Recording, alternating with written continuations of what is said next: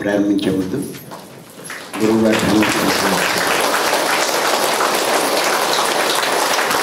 మనం ప్రకృతి నుంచి ఎన్నో నేర్చుకోవచ్చు నేర్చుకోవాలి కూడా. నేర్చుకోవడానికే భూమి మీదకి వచ్చాం. గుర్తుంచుకోండి మనం ఆత్మలం దేహాలం కాదు. ఈ ఆత్మలకి భూమి అన్నది ఒక పాఠశాల లాంటిది. గుర్తుంచుకోండి ఆత్మ యొక్క లక్ష్యం పూర్ణాత్మ కావడం. దాన్ని ఇంకో రకంగా చెప్పాలంటే మానవుడి యొక్క లక్ష్యం మాధవుడు కావడం. అది ఇది ఒకటే. ఆత్మ పూర్ణాత్మ కావాలన్నా మానవుడు మాధవుడు కావాలన్నా ఎన్నో పాఠాలు నేర్చుకోవాలి. అవన్నీ నేర్చుకోవడానికే ఈ భూలోకం. ఈ భూలోకంలో రకరకాలుగా నేర్చుకుంటాం. అనుభవాల నుంచి నేర్చుకుంటాం. ఇతరులు గొప్పవారి బోధల నుంచి నేర్చుకుంటాం. కుటుంబంలోని వారి నుంచి కూడా నేర్చుకుంటాం. అంటే భార్య నుంచి భర్త భర్త నుంచి భార్య పిల్లలు తల్లిదండ్రులు వీళ్ళ నుంచి కూడా నేర్చుకుంటాం. చుట్టూ ఉండే సమాజాన్ని నుంచి నేర్చుకుంటాం. మీరు ఉండే కులాన్ని నుంచి నేర్చుకుంటారు. మతం నుంచి నేర్చుకుంటారు. మీరు ఉండే దేశము ప్రాంతం నుంచి కూడా నేర్చుకుంటారు.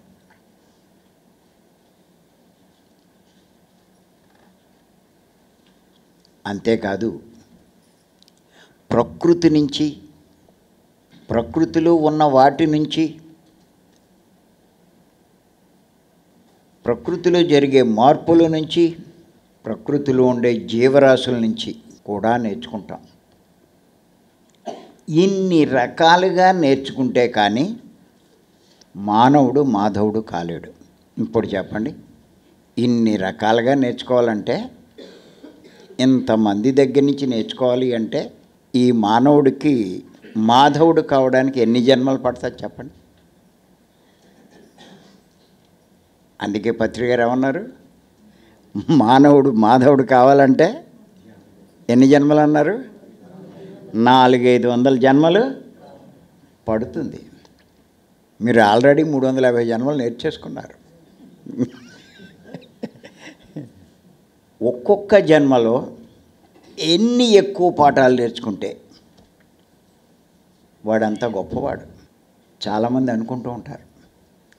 ఏమనుకుంటారంటే అసలు ఇన్ని మతాలు ఎందుకు ఇన్ని కులాలు ఎందుకు ఇన్ని జాతులు ఎందుకు ఏదో ఒక్కటే ఉంటే సరిపోదా?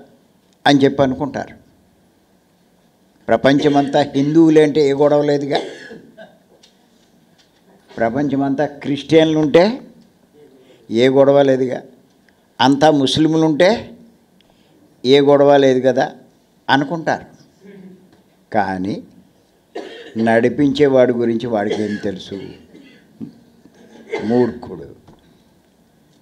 ఈ భూమి మీద అన్ని రకాలు ఉండాలి ఉంటాయి కూడా. ప్రతి ఆత్మ అన్ని దేశాల్లో జన్మిస్తుంది. జన్మ తీసుకుంటుంది. అన్ని ప్రాంతాల్లో మన ప్రపంచంలో చూడండి తెల్లవాళ్ళు అంటారు కదా తర్వాత నల్లవాళ్ళు ఒకళ్ళు కొంతమంది ఉన్నారు. ఏమంటారండి? నిగ్రోలు. అటు ఇటు కానివాళ్ళు కొంతమంది ఉంటారు. ఎవరు మనమే? తెల్ల కాదు నల్ల కాదు.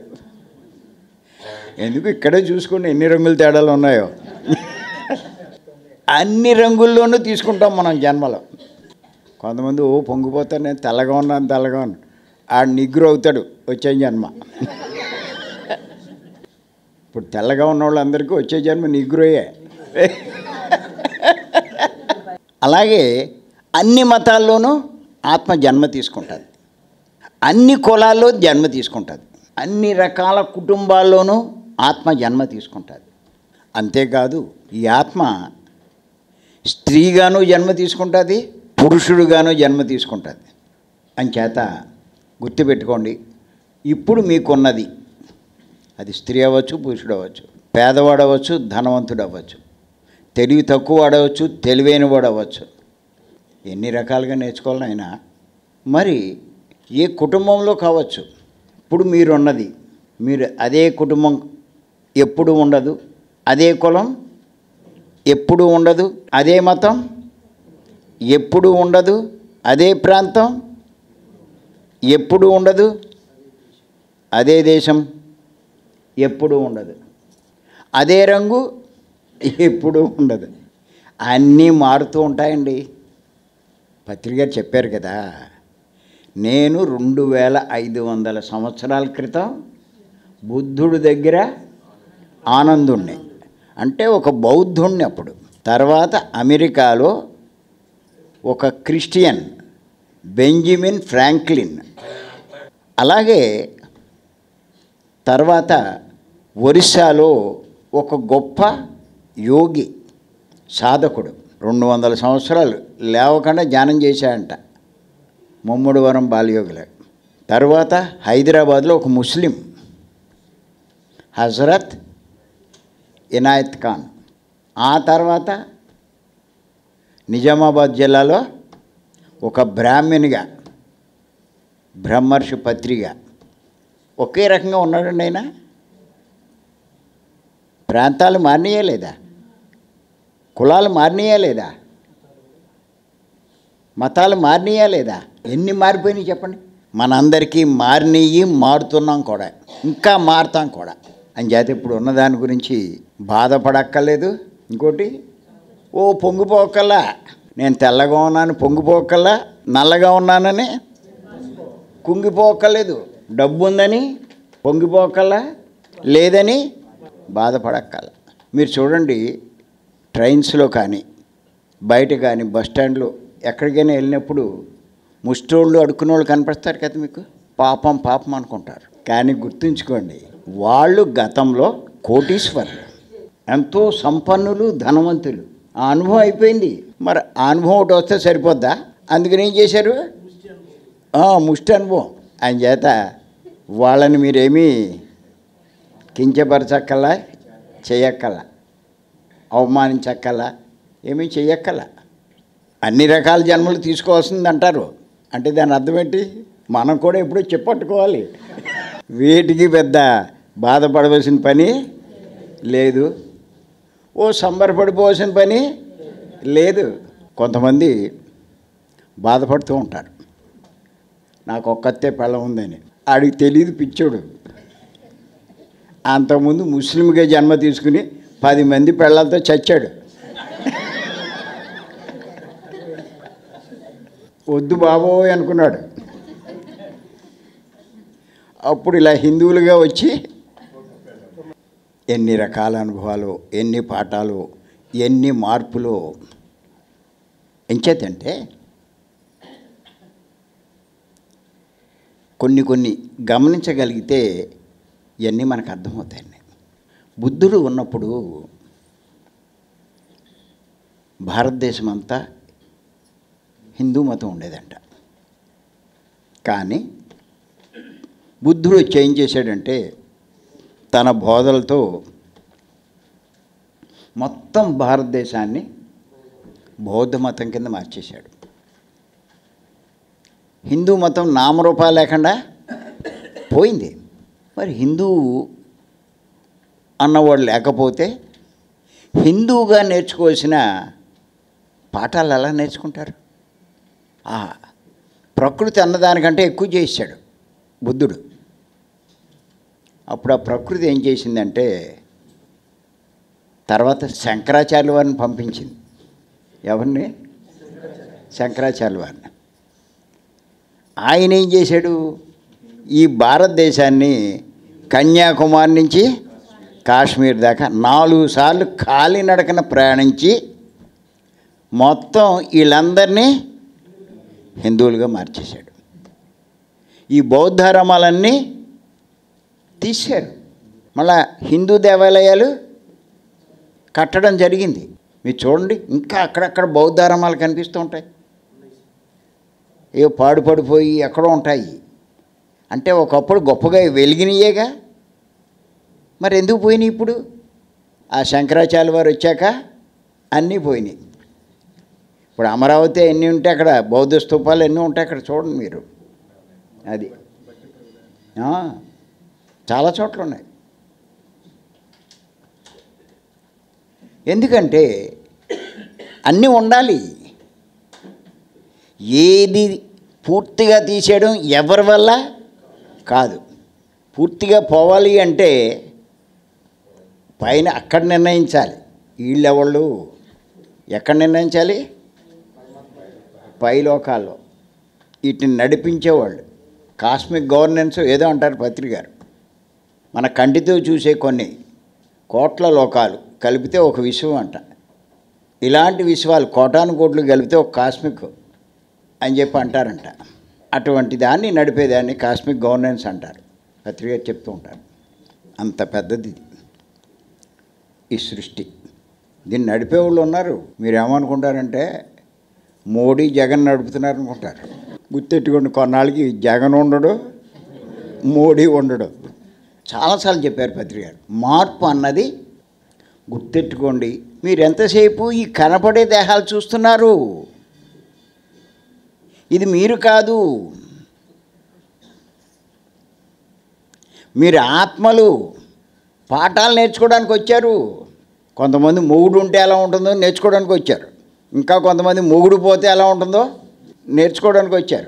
ఇంకా కొంతమంది మొగుడుతో దెబ్బలాడి దూరంగా వెళ్ళిపోతే ఎలా ఉంటుందో నేర్చుకోవడానికి వచ్చారు. అలాంటివి కూడా ఉంటాయా కేసులు? ఇంకా కొంతమంది విడిపోకుండా ఇంట్లోనే ఉండి దెబ్బలాడుకుంటూ నేర్చుకుంటారు. ఎన్ని రకాల కేసులు అన్ని పాఠాలేనండి. ఇది తెలియక ఊరికి ఏడుతూ కూర్చుంటారు మీరు అంతే పత్రికారు పరిచయం కాకముందు ఇది మామూలుగా జీవించాను నేను. పత్రికారు పరిచయం అయిన తర్వాత ఏది జరుగుతున్నా దీని నుంచి మనం నేర్చుకోవాల్సింది ఏంటి? అన్న ప్రశ్న వేసుకుంటూ ఉంటాను నేను. అప్పుడు నాకు ఎన్నో విషయాలు తెలుస్తాయి.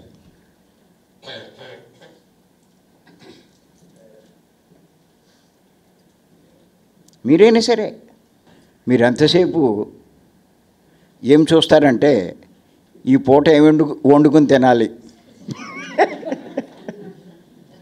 ఇవాళ ఇడ్లీ తిన్నాను కదా. రేపు ఏం వేసుకుందాం? ఓహో మధ్యాహ్నానికేనంట ఆయన. వాళ్ళ కూర సాంబారు. రేపు? ఎంత ఆలోచిస్తారో జీవితం అంతా. ఏమండి? భూమి మీదకి పూట పూట ఏం తినాలో అని. అది నేర్చుకోవడానికి వచ్చారా? ఇవన్నీ నేర్చుకోవాలండి? తెలియదు కదా. ఇప్పుడు మీరు ఇలా రావడం వల్ల తెలుసుకుంటున్నా. నాకు తెలీదు. పత్రిక పరిచయం అయ్యాక నాకు తెలిసింది. నేను కూడా అన్నానుగా. అందుముందు సంపాదించడం హాయిగా ఎంజాయ్ చేయడం. అదే లైఫ్ అనుకున్నాం. తర్వాత తెలిసింది. అప్పటి నుంచి ఎప్పుడైతే ధ్యానం బాగా చేశామో నా బుద్ధి బాగా వికసించింది. బుద్ధి వికసిస్తేనే మీకు ఇలాంటి ఆలోచనలన్నీ వస్తాయి. దాన్ని బట్టి మీకు ఏమర్థమవుతుంది ఇప్పుడు? బుద్ధి వికసించుకోవాలి అన్న పాయింట్ అర్థమవుతుంది అర్థం కావట్లేదు? నేను ఆలోచించాను. మీరు ఆలోచించట్లేదు అంటే? బుద్ధి లేదు. అది కూడా తెలియకపోతే? బుద్ధి లేదు అని సంగతి తెలిసినా కొంత బుద్ధి ఉన్నట్టే. మళ్ళీ మీలో కొంతమంది అనుకోవచ్చు. ఈయన ఏం చెప్తున్నాడో మాకేం అర్థం కావట్లేదు.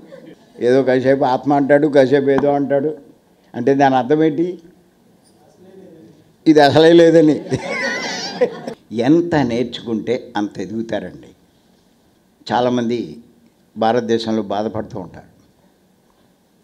హిందువులంతా మారిపోతున్నారని కానీ గుర్తెట్టుకోండి. ఇప్పుడు రష్యా వెళ్తే అక్కడ ఎక్కువ హిందువులు అయిపోతున్నారంట.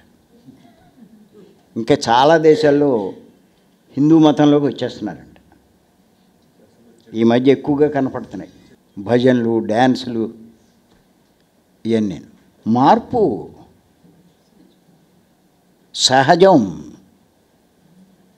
నీ తరం కాదు ఇంకోటి తరం కాదు. పై నిర్ణయం ఎలా ఉంటే అలా జరుగుతుంది. కొన్ని కొన్ని జాతులు కొన్ని కొన్ని జంతువులు ఆ జాతి అంతా అదృశ్యమైపోతుంది. కాపాడుకోవాల్సిన పరిస్థితి వస్తుంది. ఇంతకీ నేను చెప్పేది ఏంటంటే ఇదంతా మనం ఎన్నో నేర్చుకోవాలి. నేర్చుకోవడానికే వచ్చాం. వందల వేల లక్షల పాఠాలు కాదు కోట్ల పాఠాలు నేర్చుకోవాలి. మీ బుద్ధి ఎంత ఎక్కువ వికసింప చేసుకుంటే అన్ని ఎక్కువ పాఠాలు నేర్చుకుంటారు. గట్టిగా చెప్పాలంటే ధ్యానం చేసేది ముందు బుద్ధి వికసింప చేసుకోవడానికే. మానవులు ఎన్ని నేర్చుకుంటున్నా ప్రకృతి ఏం చేస్తుందంటే ఇంకా కొత్త కొత్త ఇవన్నీ మీద సృష్టిస్తుంది. కొత్త టెక్నాలజీ. పూర్వకాలంలో ఉన్నాయి ఉన్నాయండి ఇప్పుడు అన్నీ? మారినాయి అంటారా? మారలేదా? అసలు మీ ఉన్న జీవితంలోనే ఎన్నో మారితే కోట్ల సంవత్సరాల నుంచి ఎన్ని మార్పులు వచ్చింది చెప్పండి? ఇప్పుడు మీరున్న మీ చిన్నప్పటి నుంచి ఇప్పటికి చూసుకోండి ఎన్ని మార్పులు వచ్చినాయో. యాక్చువల్గా ఈ టెక్నాలజీ పెరిగి ఈ యూట్యూబ్ ఇవన్నీ వచ్చిన వలన ఈ మార్పులు మనం తెలుసుకోగలుగుతున్నాం. అంతకుముందు ఏం తెలుసు మనకి? ఎక్కడ ఉన్నవాళ్ళు అక్కడ ఉంటారు. ఓహో ఇలాగే ఉంటుంది ప్రపంచం అనుకుంటాం. మా చిన్నప్పుడే ఏదైనా విమానం ఎగిరితే ఇంట్లోంచి బయటకు వచ్చి చూసేవాళ్ళు. విమానం విమానం అని. చాలా వింతగా ఆకాశంలో ఎగురుతుంది. పక్షులు ఎగరడం చూశారు కానీ పూర్వకాలంలో ఎక్కడ చూశారు? అంచేత విచిత్రంగా బయటకు వచ్చేవారు. ఇప్పుడు ఊరుకో ఎయిర్పోర్టు ఎంత టెక్నాలజీ అండి? నేను మొదట్లో సెల్ ఫోను ఏదో చిన్నది ఒకటి కొనుక్కున్నా. ఏదో మనం ఫోన్ చేసేదానికి మళ్ళీ పెద్దది కావాలేటని అని. తర్వాత చూశాను. ఈ టెక్నాలజీని వాడుకుంటే ఎంతో నేర్చుకోవచ్చు. మనం ఏదైతే నేర్చుకోవాలనుకున్నామో ఎంతో జ్ఞానాన్ని సంపాదించవచ్చు అన్నది అర్థమైంది. మరి అలాగే నాకేం తెలియదే అప్పుడు ఏం చేశానంటే మా మనవల్ని వాళ్ళు టకటక నొక్కేసేవారు. కొన్ని దుంప తెగ నిన్న కాక మొన్న పుట్టారు.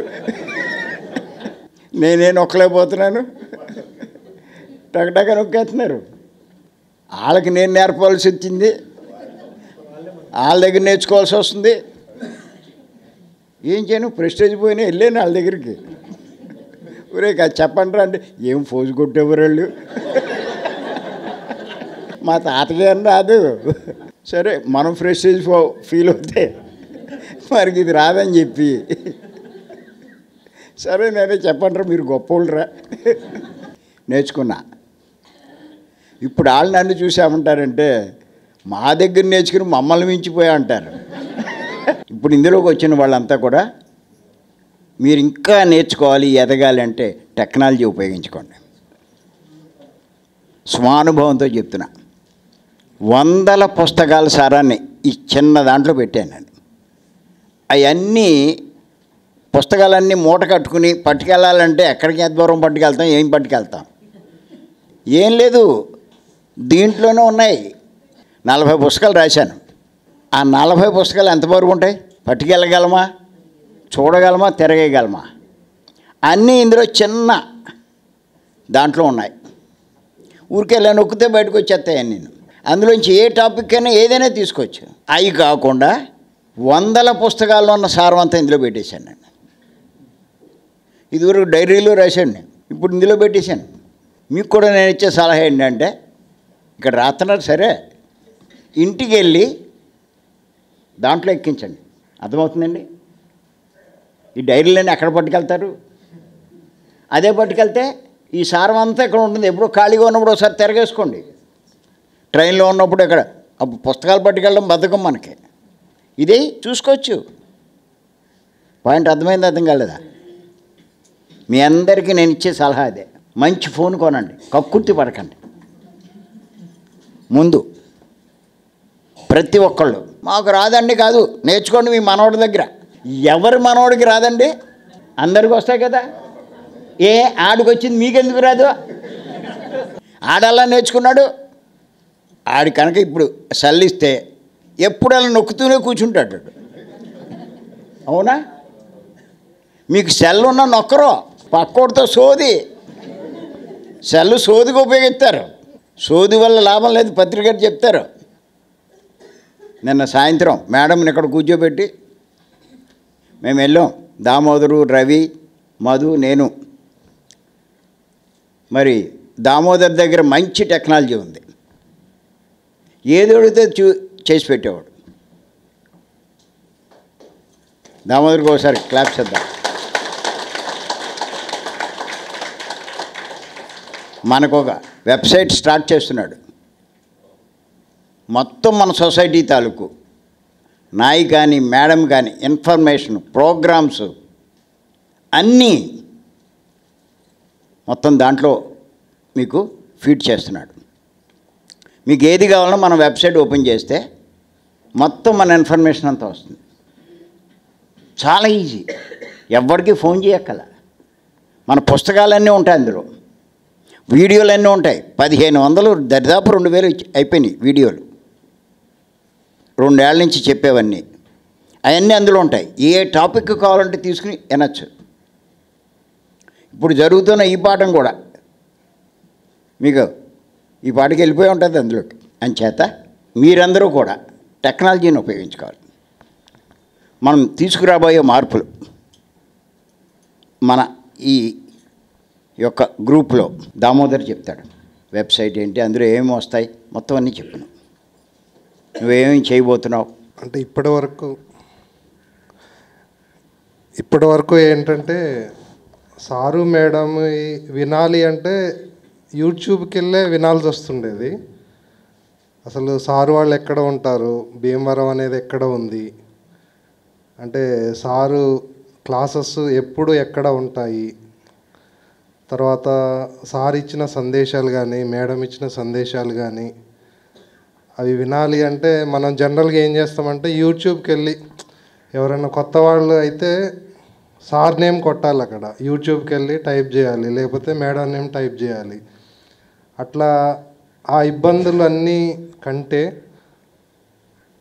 ఒకటి ఉంటే అంటే ఇవన్నీ కూడా ఒకే చోట ఉంటే బాగుంటుందని ఒక మాట్లాడుకొని ఇలా వెబ్సైట్ డిజైన్ చేస్తే బాగుంటుందని సార్కి చెప్తే సారు స్టార్ట్ చేయమని చెప్పడం జరిగింది. ఒక ఫిఫ్టీన్ ట్వంటీ డేస్ అంటే వన్ మంత్లో అయిపోతుంది అనుకుంటున్నాం సార్. దాంట్లో ఏంటంటే ఇవన్నీ త్రీ డే మేడంవి సార్వి త్రీ డేస్ క్లాసెస్ ఎక్కడ జరిగినా కానీ వాటి ఇన్ఫర్మేషను తర్వాత సార్ బుక్స్ అన్నీ కూడా సార్ ఏమంటున్నారంటే సార్ రాసిన బుక్స్ అన్నీ ఆ బుక్లో ఏముంది? కాంటెంట్ తర్వాత సార్ ఏం చెప్పారు అంటే ఆ పీడిఎఫ్స్ కూడా పెట్టేద్దాము. చదువుకునే వీలున్న వాళ్ళు డౌన్లోడ్ డౌన్లోడ్ చేసి చదువుకుంటారు అనేది చెప్పడం జరిగింది. అంటే అప్పుడు మేమేమన్నామంటే సార్ అది పీడిఎఫ్స్ పెట్టేస్తే ఇంకా బుక్స్ ఎవరు కొంటారు? అని అడగటం జరిగింది. సార్ ఒకటే మాట అన్నారు. ఇది వ్యాపారం కాదు. మన జ్ఞానం అనేది అందరికీ వెళ్ళాలి. అంటే సార్ చెప్పారు సార్ సెల్లో ఏ అయితే బుక్స్ సెట్ ఉందో అవన్నీ కూడా వెబ్సైట్లో పెట్టాలి. నలభై పుస్తకాలు. సార్ చూడండి అంటే మనం కమర్షియల్ కాదు. అంటే అవి పెట్టేస్తే ఇంకా బుక్స్ ఎవరు కొంటారు అనేది అడిగితే లేదు లేదు చదువుకునే వాళ్ళు చదువుకోనివ్వు. అలా ఒక్కళ్ళు మారినా కానీ మారినట్లే అని చెప్పడం జరిగింది. అమెరికా నుంచి వచ్చి పుస్తకాలు కొనగలరా? అదే అందులో పెడితే అమెరికాలో ఉన్నవాడు ఆస్ట్రేలియా ఉన్నవాడు ఇంగ్లాండ్లో ఉన్నవాడు మన చదువుకో పుస్తకాలు చదువుతారు. తర్వాత యూట్యూబ్లో సార్ చెప్పినట్లు పదిహేను వందలు. అది పదిహేను వందల పైన వీడియోస్ ఉన్నాయి. తర్వాత ఆ వీడియోస్ కూడా ప్లేలిస్ట్గా అంటే మనకి సార్ తీసుకుంటే ఒక్కొక్క సబ్జెక్ట్ మీద కొన్ని ఒక ఎపిసోడ్ లాగా వచ్చాయి. అంటే మరణించక ముందే మరణించాలి తర్వాత ఇప్పుడు షిరిడి సాయి సందేశాలు అని విగ్రహారాధన అని తర్వాత కోరికల వల్ల నష్టాలు మంత్రపుష్పము ఇలా టాపిక్ వైజు ఒక కొన్ని ఎపిసోడ్లు ఉన్నాయి. ఆ ప్లేలిస్ట్లు కూడా మన వెబ్సైట్లో పెట్టడం జరుగుతుంది. అంటే అక్కడ లింక్ ఇస్తే ఆ లింక్ క్లిక్ చేస్తే మన యూట్యూబ్ ఛానల్కి వెళ్ళేటట్లుగా అది కూడా చేయటం జరుగుతుంది.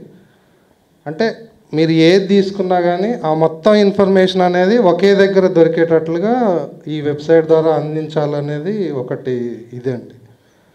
సో అందువల్ల మనం ఇంకా ఏం చేస్తున్నామంటే గూగుల్కి వెళ్ళి తటవర్తి అని కొట్టినా కానీ స్పిరిచువల్ అని కొట్టినా కానీ స్పిరిచువల్ ట్రైనింగ్ అని కొట్టినా కానీ మన సార్ లింక్ ఈ వెబ్సైటే ఫస్ట్ వచ్చేటట్లుగా కూడా చేస్తున్నాము. అదొకటి. అంటే దానికి డిజిటల్ మార్కెటింగ్ అనేది వాడుకుందామని అనుకుంటున్నాము. అంటే ఆ భీమవరం అని కొట్టినా కానీ ఈ వెబ్సైటే మన వెబ్సైటే ఫస్ట్ ఓపెన్ అయ్యేటట్లుగా అది కూడా ప్లాన్ చేస్తున్నాము. సో ఇవన్నీ ఐడియాస్ ఉన్నాయి. తర్వాత ఈ సారి జ్ఞానాన్ని సెల్ ఫోన్ ఉన్న వాళ్ళ ప్రతి ఒక్కళ్ళకి చేరాలనేది. అదే అండి ఐడియా. అంటే ఈ జ్ఞానాన్ని విస్తృతంగా అందరికీ అందరికీ చేరాలనేదే ఈ ఉద్దేశము. అంటే మనకి సోషల్ మీడియా ద్వారా అంటే ఫేస్బుక్ అని వాట్సాప్ అని ట్విట్టర్ అని ఇన్స్టాగ్రామ్ అని వీటన్నిటి ద్వారా కూడా మ్యాక్సిమమ్ ఈ సత్యం అనేది అందరికీ చేరాలనేదే సార్ యొక్క తపన మనందరి తపన. సో దానికోసము ప్రయత్నం చేస్తున్నాము థ్యాంక్ యూ సార్ ఇప్పుడు ఈ కార్యక్రమానికి పూర్తిగా చాలా కష్టపడుతున్నది. మొత్తం వాళ్ళ ఒక లైఫ్నే దానికి కేటాయించారు. రవి ఒకడు సింధూరావు ఒకడు.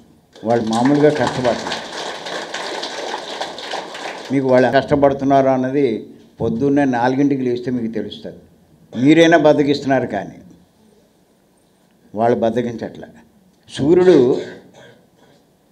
ఉదయించడం మానేస్తాడా? అలాగే వీళ్ళిద్దరూ ఆ జూమ్ ఓపెన్ చేయడం మానరు. సూర్యుడైనా మానేయలేమో కానీ వాళ్ళు చేస్తున్న వర్క్ అవన్నీ రవి చెప్తాడు. ఇంకా మనం ఏం చేయాలి? ఈ జ్ఞానం ఎంత తొందరగా పెంచుకోవాలి? ఉన్న ఈ టెక్నాలజీని ఉపయోగించుకుంటే ఇంకా గొప్పగా నేను ఇందాక నుంచి చెప్పేది అదే కదా. పాఠాలు నేర్చుకోవాలి నేర్చుకోవాలి నేర్చుకోవాలి అన్నది. ఇంకా క్విక్గా ఉన్న టైంలో ఎక్కువ నేర్చుకోండి జన్మలు తగ్గిపోతాయి. ఉన్న టైంలో తక్కువ నేర్చుకుంటే జన్మలు పెరుగుతాయి. ఆ ఉన్న టైంలోనే ఎక్కువ నేర్చుకుంటే జన్మలు తగ్గిపోతాయి. ఎందుకు? జన్మలు పెంచుకుని కొత్త మూగులతోటి కొత్త పిల్లలతోటి చావడం ఎందుకు?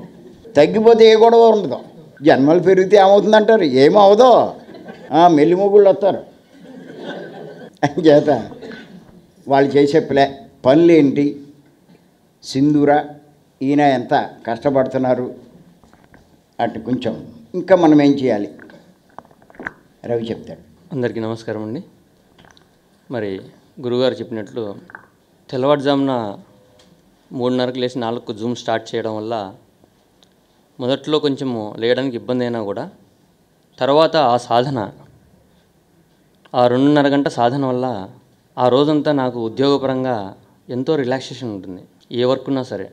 పూర్తిగా సాయంత్రం వరకు ఈ మైండ్ను ఆ వర్క్ మీద పెట్టినా కూడా అది స్ట్రెస్కు లోన్ కావడం లేదు. ఎందుకంటే ఆల్రెడీ ఆ మనస్సుకు కావాల్సినటువంటి ఆ ఎనర్జీ ఆ శక్తి సంపాదించుకోవడం వల్ల ఆ మిగతా టైం అంతా కూడా ఏ సమస్య లేకోకుండా ప్రశాంతంగా సాగిపోతుందన్నమాట. ఆ ఎఫిషియన్సీ అనేది కూడా ఆ నైపుణ్యం అనేది కూడా సరైన దృక్పథం ఆలోచనలు సరిగ్గా ఉండడము సరైన నిర్ణయాలు తీసుకోవడము అందరితో వాళ్ళకు అనుకూలంగా మనం ఎలా నడుచుకోవాలో అది అర్థం కావడము వారికి అనుకూలంగా మనం వెళ్ళడము ఇదంతా ఉన్నప్పుడు మనకు ఎంత బాగుంటుంది జీవితం? మనకు ఇంకా ఇబ్బందులు ఎక్కడి నుంచి వస్తాయి? మరి రెండున్నర సంవత్సరం క్రితము గురుగారు ఇది జూమ్ మొదలు పెట్టడానికి మాకు ఒక గొప్ప అవకాశాన్ని ఇచ్చారు. అయితే అప్పట్లో అది ఎలా స్టార్ట్ చేయాలో కూడా తెలిసేది కాదు. అప్పుడు మన హైదరాబాద్ మధు సారు తర్వాత కొంచెం దామో సార్ హెల్ప్ తీసుకోవడం ఇంకా మన కొంతమంది మాస్టర్స్తో హెల్ప్ తీసుకొని దాన్ని స్టడీ చేసి అది స్టార్ట్ చేయడం జరిగింది. అంతకు పూర్వం ఎలా ఉండేదంటే పరిస్థితి గురువుగారితో మాట్లాడాలన్నా ఇక్కడ సందేశాలు వినాలన్నా మూడు నెలలకో నాలుగు నెలలకో ఒక్కసారి భీమవరం వచ్చి అప్పుడు కూడా సార్ దగ్గరికి వెళ్ళి వెళ్ళి మాట్లాడేదానికి ఏదో కొంచెం సమయము ఉండేది. కానీ ఈ జూమ్ వల్ల ప్రతిరోజు రెండు వందల పైబడి ఆన్ చేయగానే అందరూ వీడియోలు ఆన్ చేసుకొని ఐదు పది నిమిషాల్లో జాయిన్ అయిపోతున్నారు. అది కూడా వీడియోలు ఆన్ చేసుకుంటారు. నాలుగు నుంచి ఆరున్నర వరకు ఎవరు వీడియోలు ఆఫ్ చేయరు. అందరూ ధ్యానంలో కూర్చుంటారు. గురుగారికి అందరూ ఇప్పుడు ఎలా కనిపిస్తున్నామో అప్పుడు కూడా జూమ్ ముందర అలానే కనిపిస్తారు. కుర్చీలోంచి ఎవరూ లేచి పక్కకి వెళ్ళిపోవడం కానీ వీడియోలు ఆఫ్ చేయడం కానీ జరగదు. మళ్ళీ సారు ఓకే చెప్పమన్నప్పుడు ఆ ఓకే చెప్పినప్పుడు ఆరున్నరకు కళ్ళు తెరుస్తారు. లేకపోతే అది ఏడున్నర అవుతుంది తొమ్మిదిన్నర అవుతుంది. అట్లే కళ్ళు మూసుకొని కూడా ఉంటారు. ఆ సాధన గురువుగారు ఇచ్చారు మనకి. దానివల్ల ప్రతిరోజు ఎంతోమంది ఆ జ్ఞానాన్ని పొందుతూ ఎంత మార్పు తెచ్చుకుంటున్నారంటే వాళ్ళంతకై వాళ్ళే చెప్తున్నారు. గతంలో మేము ఇలా ఉండే వాళ్ళము ఇంట్లో పరిస్థితులు ఇలా ఉండేటివి. ఇప్పుడు మా ప్రవర్తన ఎంతో మార్చుకున్నాము మేము ఇప్పుడు ఇలా ఉన్నాము. ముందు మా మాటలు సరిగ్గా ఉండేటి కాదు ఇప్పుడు మా మాటలు సరిగ్గా ఉన్నాయి. మా ఆలోచనలు సరిగ్గా ఉండేటి కాదు గతంలో ఇప్పుడు సరిగ్గా ఉన్నాయి. ఒకప్పుడు నోరు తెరవాలంటే భయపడేవాళ్ళు. నాకు నోరు రావట్లేదు సార్ మాట్లాడలేకున్నాను అనేటోళ్ళు ఇప్పుడు గంటల తరబడి క్లాసులు చెప్తున్నారు. ఎలా సాధ్యమడింది అలా ఎంతోమంది అరవై డెబ్బై మంది క్లాసులు చెప్పమంటే నాన్ స్టాప్గా చెప్పేస్తున్నారు క్లాసెస్ ఇప్పుడు. అంత భయం లేకుండా ఉండడం కానీ అంత జ్ఞానం కానీ వాళ్ళు ఎలా సంపాదించుకున్నారు? టెక్నాలజీ వల్ల నిరంతరం సార్ అందించే సారు మేడం వారు అందించేటువంటి ఈ జ్ఞానం వల్ల ఆ కీటకం భ్రమరం అవుతుందంటారు కదా. జుంకారనాదం. సార్ చెప్తుంటారు మనకి ఎప్పుడు. అలా నిరంతరము మనకు చెవుల్లో సార్ చెప్పేటువంటి జ్ఞానం ప్రతిరోజు విని విని విని ఏమవుతుంది? మననం అయిపోతుంది అది ఆ ఉదాహరణ ఆటోమేటిక్గా వచ్చేస్తుంటాయి. మనం నోరు తెరిచినామంటే. చూడండి టెక్నాలజీ ఇది ఒకటి అయితే రెండోది మనం ఒకటి ఛానల్ అందరిలాగానే మనకు ఒక ఛానల్ కావాలి. ఇంట్లో కూర్చొని మా మేడం ఏం చేస్తుంటుందంటే అప్పుడప్పుడు వంట చేస్తూ స్మార్ట్ ఫోన్ ఆన్ చేసి సార్ వీడియోస్ ఆన్ చేసి వంట చేసుకుంటూ ఉంటుంది. YouTube videos.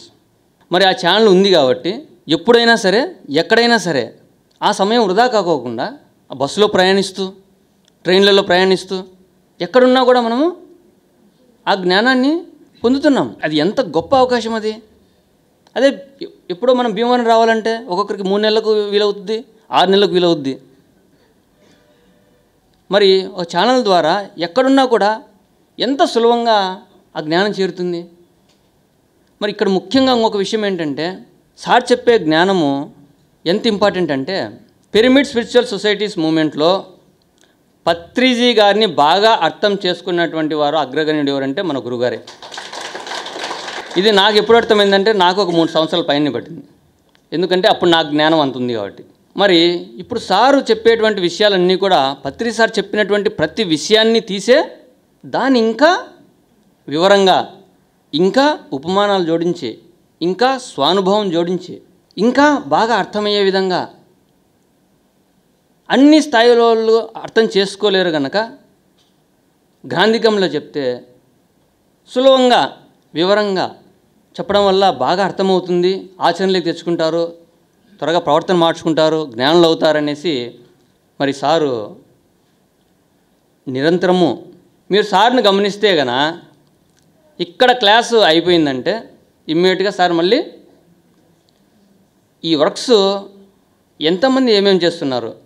సార్ చాలామందికి వర్క్స్. ఎవరైతే వాళ్ళు సహజంగా వాళ్ళంతకై వారే వాలంటీర్గా మేము చేస్తాం సార్ అన్నప్పుడు ఇప్పుడు దామోదర్ సార్ ఉన్నారు. ఏం చేస్తారు సార్ అంటే లైవ్ ప్రోగ్రామ్స్ ఎక్కడ జరిగినా ఇమ్మీడియట్గా సార్ పేరు మీద దాదాపు ఒక అరవై డెబ్బై గ్రూపులు ఉన్నాయి. ఆ అరవై డెబ్బై గ్రూపుల్లో కూడా అన్ని దామోదర్ సార్ చాలా వరకు ఆయనే వాట్సాప్ గ్రూప్స్ క్రియేట్ చేయడం జరిగింది. ఇప్పుడు వాటిని రెండు గ్రూపులుగా కమ్యూనిటీ గ్రూపులు కూడా చేయడం జరిగింది దామోదర్ సార్. ఈ లైవ్ ప్రోగ్రామ్స్ సంబంధించినటువంటి యూట్యూబ్ ఈ లింక్స్ అన్నీ కూడా దామోదర్ సార్ ఆ గ్రూప్స్లో నిరంతరం పెడుతూనే ఉంటారు. ఇప్పుడు ఈ మూడు రోజుల్లో ఎన్ని క్లాసులు జరిగాయి? ఓ పదకొండు వీడియోలు వస్తాయి. పదో పదకొండు వీడియోస్ మనకు వస్తుంటాయి. మీరు మీరు ఒక్కసారి ఓపెన్ చేస్తే వాట్సాప్ ఓపెన్ చేసినారంటే దామో సార్ నెంబర్ ఉంటుంది సార్ది కింద వీడియోస్ అన్నీ ఉంటాయి. సార్ చేసే వర్క్.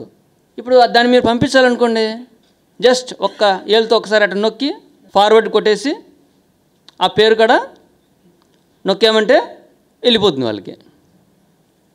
అదే ఆ జ్ఞానం పొందాలంటే ఆ టెక్నాలజీ లేకపోతే ఎంత టైం పడుతుంది?